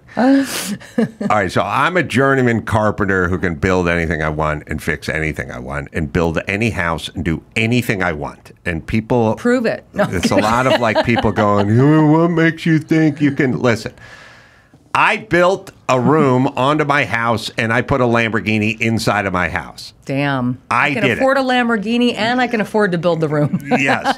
So and I know how to build the room. Perfect. But that's all I did uh, is uh, for a living because then I was a carpenter, and that's that's all I did was build houses and and whatever. I built this studio, I built these offices, build whatever I want, do it do it all you? day every day. Oh, okay. Okay. All day, every day, whatever. I'm I mean I'm busy and I travel and stuff. I can't, but but I can, and it's not handy. It's journeyman carpenter, which is different, Different. than than handy. Yeah. Cabinets, My dad metric stuff. used to do that, yeah. Every everything. Mm-hmm. There's nothing I do not know and haven't built. Mm-hmm. But um, which women say is sexy, except for none of the women I've ever been with, because I think the magical power of a woman is to take whatever your skill set is And dismiss it. and dismiss it.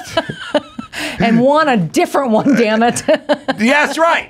They want a different skill. It's all the, the the the bigger picture is to break you down at some point. But no, I've I don't think so. I've always been a builder. A lot of things in men that I should have really looked harder for some other things. here is a picture of an office that I built above ground. I Wow. built an elevator to put a Lamborghini Miura in it. I set all the pieces of glass. I ran all the track. I did the flooring. I built. It's a steel structure. I didn't. I didn't actually hang the uh, I beams. Right. But uh, every single thing in this place, I built. I put a a, a bar underneath my swimming pool with with portholes That's pretty impressive. into I'm- it, which I I'm- cored, had somebody core, farm, Mm-hmm. farmed it out. Yes, there's nothing.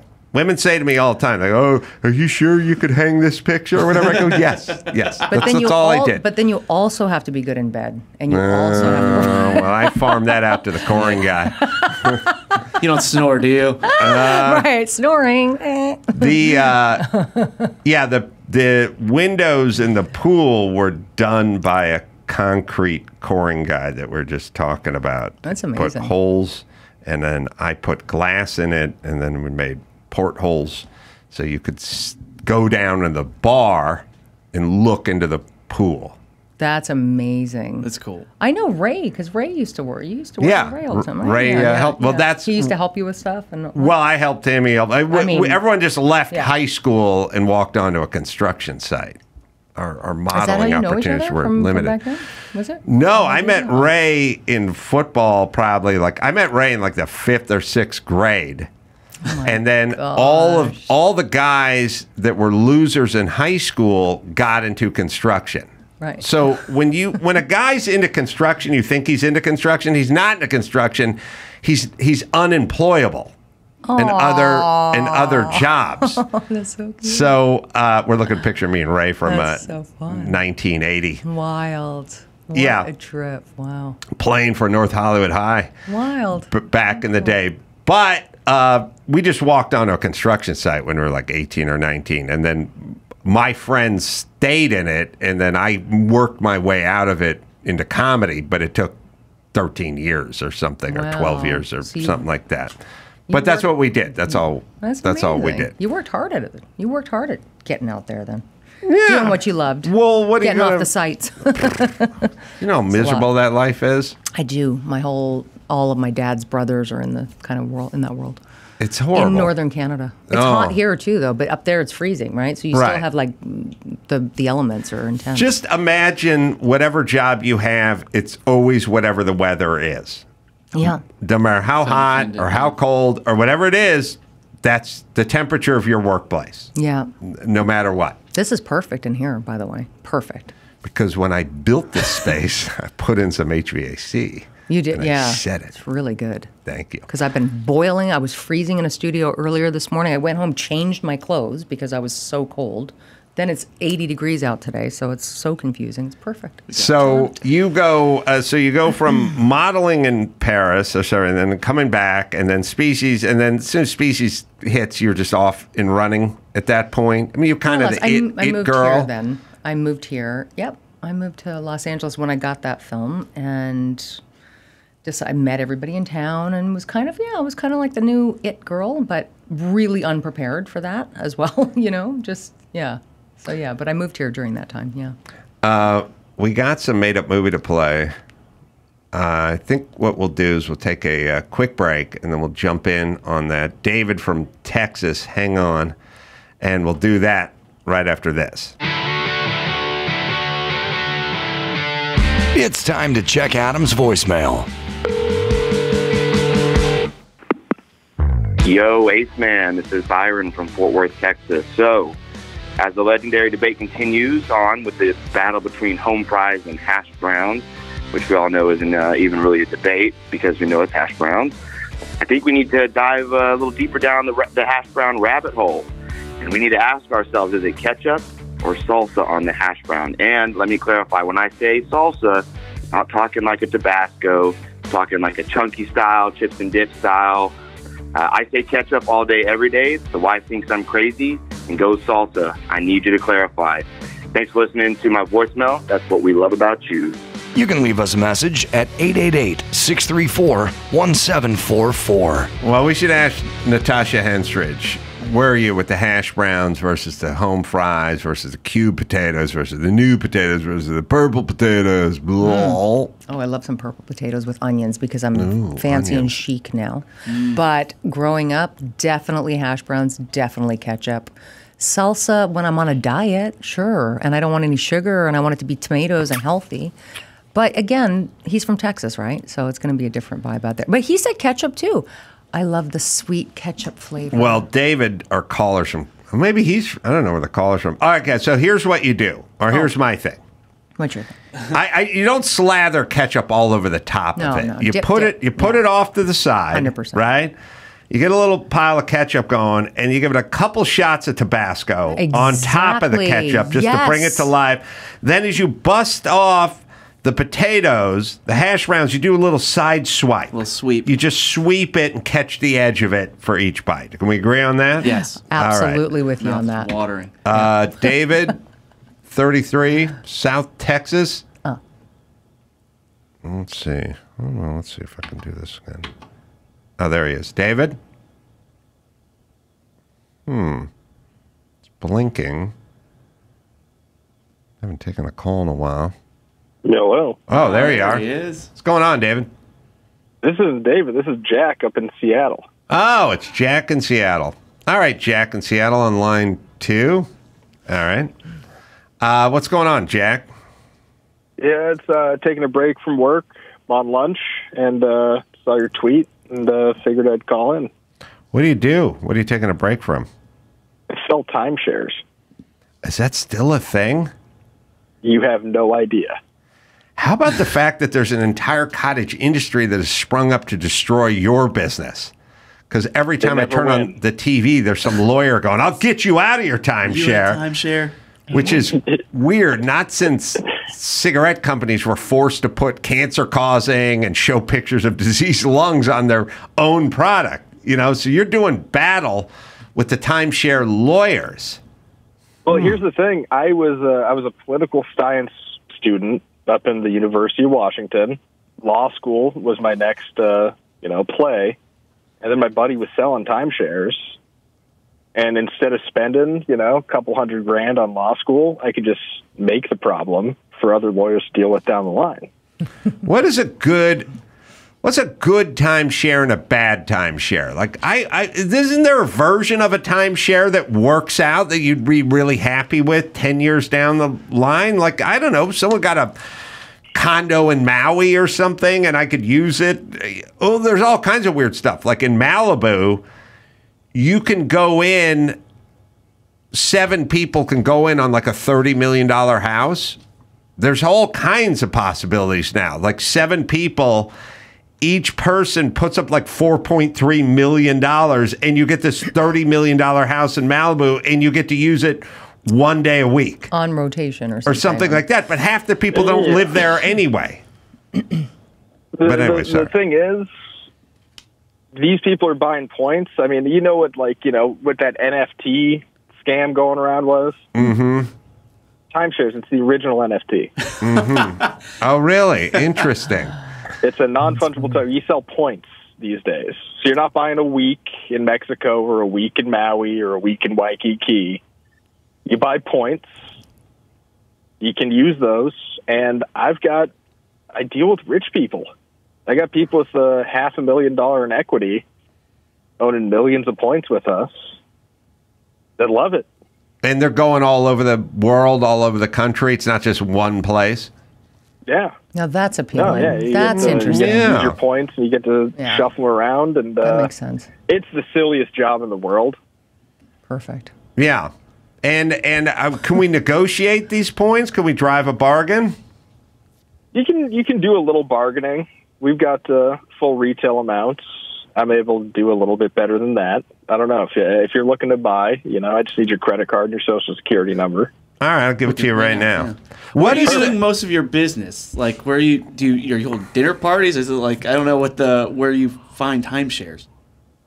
No, so uh, we own about 250 different resorts. We partner with a bunch of others.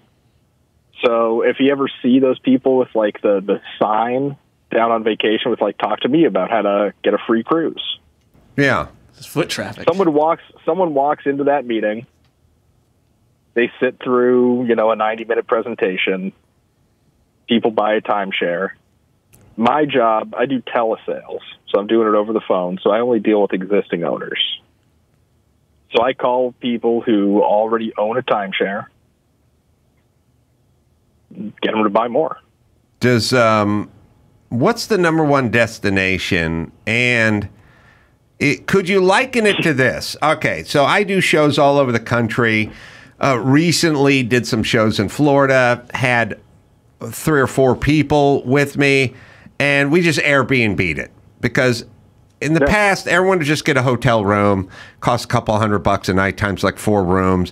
It wasn't very social. Like after the shows at night, we go back to show, we go back to the house, have a drink, and watch Roadhouse. Versus, I'll see you in the lobby tomorrow. You, you know what I mean? Kind of thing. that. It was nice. So now I find myself staying at Airbnbs with a group when we're doing shows and traveling around because it's a little cheaper, but it's more social as well.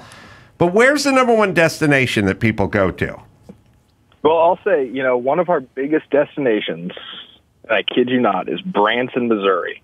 Oh, that's right. Because they want to see Yakov Smirnoff and Jimmy You know, Osmond. we- There's, they've got like a go. We got a go kart park out there, and you know all the bells and whistles for a Lot of fun resort camps. to take the kids at Branson, Missouri, the Wisconsin Dells, and then obviously you know the Floridas, the Hawaii's, SoCal.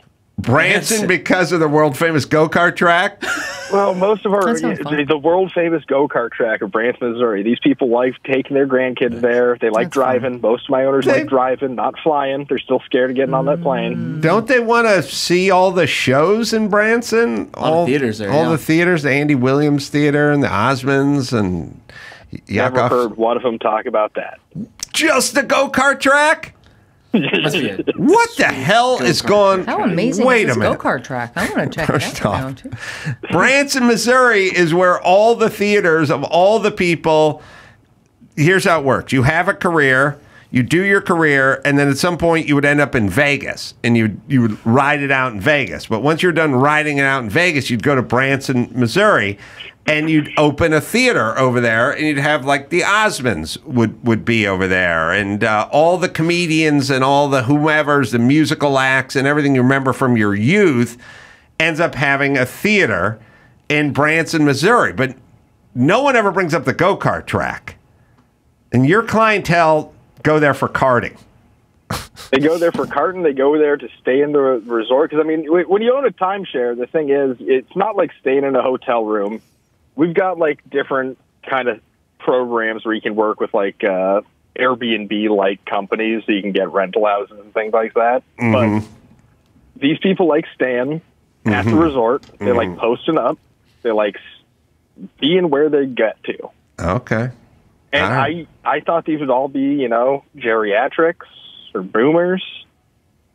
I've sold forty thousand dollars to a thirty year old. Wow. All right. We've all rethunk timeshare.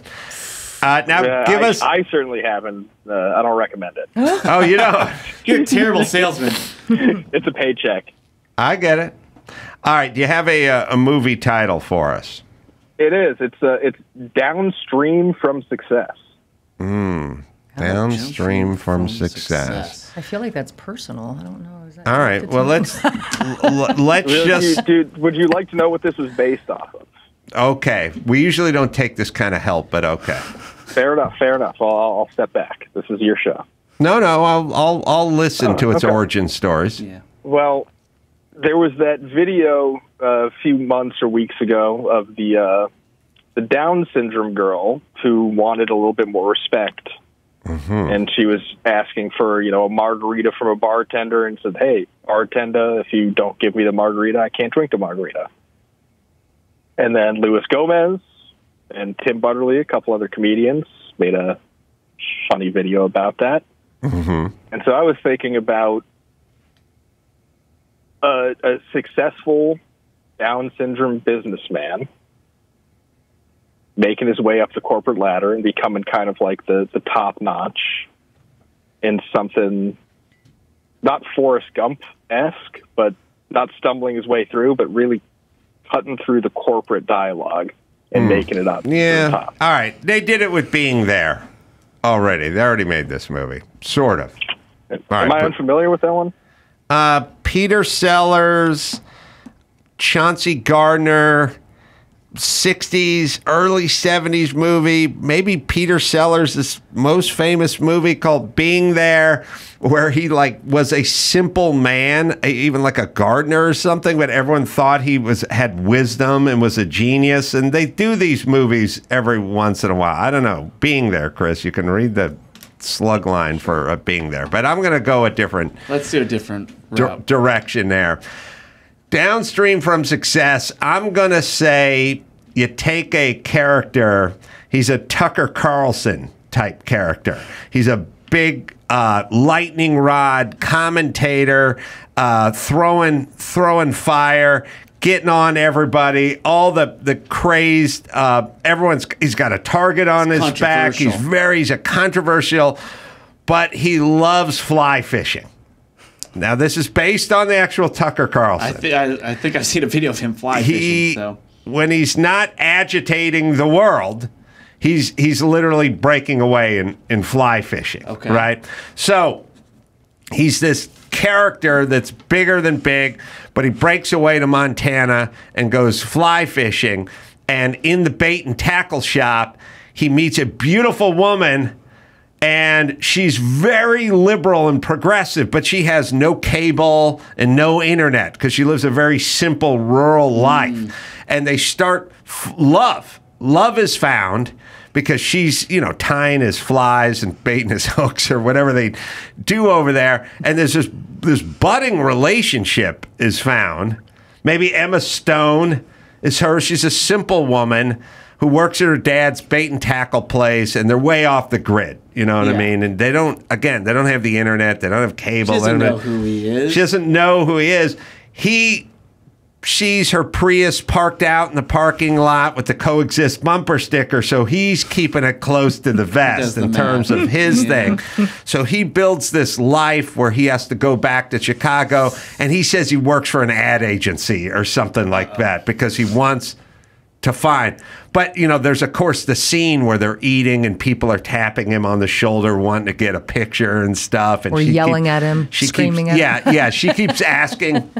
she's asking, "What's that about?" You know, there's there's that. Now I don't know who the guy is. Who's the guy?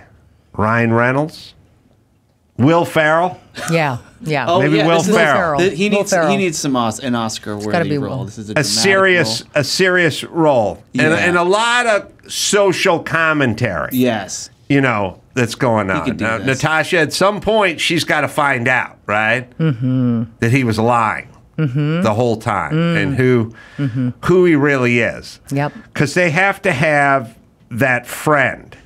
Like, like she has to have that friend who's Tiffany Haddish, who comes in, you know, reunion style from the big city Yeah. and, and it's like explaining them. You don't know, who, you, you know, she's bringing the outside world Yeah, to, to the bait and tackle to the bait and place tackle that girl. she works in. Yeah, yeah. I like that. I actually like that. In fact, weirdly enough, I swear to God, I've been working on a show similar to that. Oh, exact really? idea. Staunch Republican, staunch Democrat, exactly with those with with you know brings up all the issues and how people can see through that stuff. Uh-huh. Bait and tackle div- shop. Well, it wasn't that, but yeah, interesting. Is Int- it- great idea? is great, it- great idea? Is is what? Oh, sorry, I got to sneeze.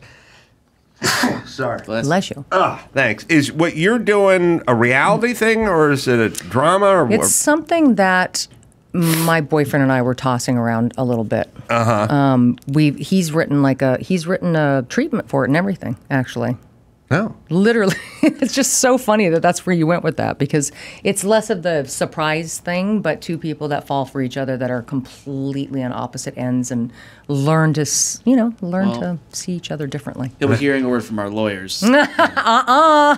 How do we resolve this now?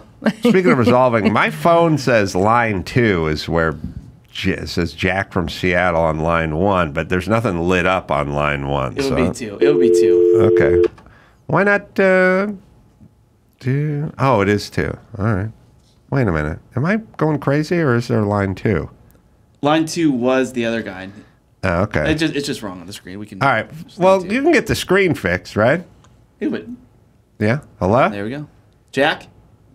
This is Jack. Hey, Jack. All right. Downstream from success. Now we didn't really figure out what the end was. He he keeps going back to this bait bait and tackle place. They find love. She's very progressive. She uh, you know, we have all those scenes where she's talking about how much she hates this, you know, Trump, or how much she, how much how in love with uh, the environment she is, or something. And he's trying to sneak in little bits of information, like, well, you know, the electric car does cause more uh, environmental impact. You know, the batteries and stuff, and they're laughing. What's that, Jack? It's the lithium in there. You know? the You know, lithium, no yeah, he's about heard, the but- lithium in those batteries. But now, but now at some point the jig is up. At Yeah. some point she finds out. Well, his station is. He has to do a report from that town now. There's something going on, Mm. And he has to report from there Mm. and defend a position, maybe some sort of.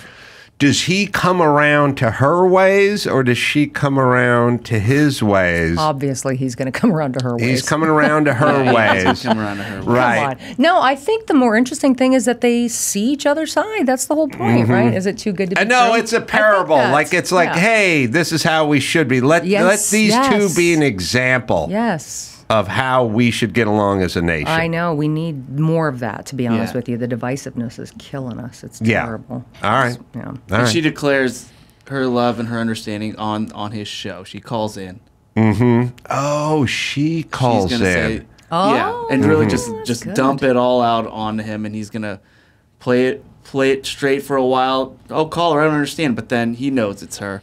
It's a little. It's got a little sleepless in Seattle part two. I was just going to say Nora Ephron movie, right? where she's got the bookstore and he's the big corporate book guy. That you've got mail, but you know, it's oh, okay, you've doesn't got matter. mail. or- edgier and crazier. If you've got mail was sleepless in Seattle too, wasn't it? Or what? I mean, They was it the good. same? Was it the same all good. people just doing the same thing again, or is it somebody else? It was the same cast, but they played different characters. Yeah, I call it part two. Jack. Yep. Do you need to have a lunch break when you sell timeshare? Like you're just sitting there, you could with a headset on, you could just be eating a sandwich while you're You know, selling stuff, couldn't you? Hey, I could. I, I usually do. Yeah, what do you need to take a Strawberries. I got- break I got from? A salami and cheese pack my girlfriend made me. He could call podcast during his break. Yeah. Yeah. It's- Talking it's about that- up here in Seattle. It's like it's like 60 degrees up in April in Seattle. His So boss isn't global tapping warming's his treating foot. us right. Talking about that uh, world class go kart racetrack over there in Branson. You know what you Yeah, start? I'm gonna, you know, I'll be selling Branson in about five minutes. you know, you know Oh. what you got to float. You know what you got to float. What's that? You got to go listen when you're talking to the people. You go uh, listen. They got a world class go kart track over there in Branson, and uh, you didn't hear it from me, but uh, F1 went to Vegas, and they went to Miami, they went to Texas. They may be coming to Branson. There's they may be coming to that. They're, they may be coming to that go kart track coming up. Now I don't know for sure. I can't say for sure, but F1 could be coming to that go kart track. Apparently, Let's they don't hey, even need. up, you don't look even up need the. Adam Carolla show, and uh, you know you'll get some information there. Insider information. What? Uh, I want to know, Byron. Look up all the acts that are in Branson right now. I just cannot believe that you're not selling Tony Orlando or whoever's there right now. Instead, you're selling a go kart. We went to Branson. Nobody mentioned a go kart track to us. at Yes, we may have been there pre pre go kart track, but that was only like three years ago, right? It was recent. Two years ago. We, we drove by all the summer camps, ate at Guy Fieri's restaurant, and then and looked at all the theaters. and heard Mike's diatribe about religious people and having to go to It religious was a camp. turning point for him. Yeah. All right, Jack.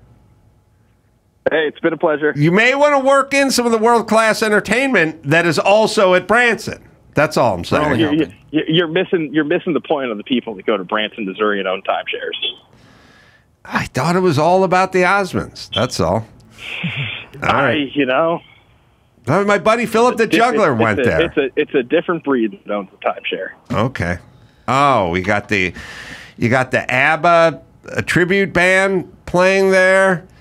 You got. Uh, I mean, this is alphabetical order. we we have like 10 A's. Abs- absolutely country, amazing acrobats of Shanghai, anthems of rock.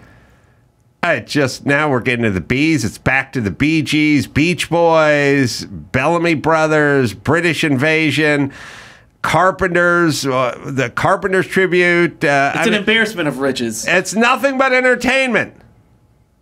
All right. That's true. And, and nothing about a go kart track. Elvis, probably not the real Elvis, but don't know. still Elvis. I'm starring Jerry Presley, who's maybe or may not be related to Maybe related. uh, related to Elvis. All right, lots of entertainment in uh, Brands. You ever been to Branson? I haven't. No, but there is a lot of entertainment there. You're not kidding. It's a lot of. That's why they Wow. opened the place. I, I am. I want to now. I want to go. Let me give you a If plug. not, not even for the plays. We have that here for the racetrack. you go for the track. Oh, yeah. Sounds fun. Cinderella's Revenge. It's available in theaters. You play the uh, Fairy wicked godmother. fairy godmother, Hmm. and uh, it'll be it'll be a wide release. Where, where we should look it up uh, online, or where where are we going to find this bad boy? It's going to be at theaters across the country. Mm-hmm. Um, Regent Theater. That's Regent Theaters, I Mm-hmm. believe. Right? I guess Regal. Regal, Damn it. Regency. Oh, they're so close. The names. too close. Mm-hmm. Regal Theaters. Yeah. So it's across the country. I don't know where. Some places. Look it up. And should we have people uh, go to your Instagram at Natasha Henstridge? Why not? As well? Sure. Yes. Daphne yes. I actually have. Springs? I actually Yes. have a little contest going on on my Instagram. What it's is gonna it? be later today. It's sweepstakes. You can win stuff. Oh, really?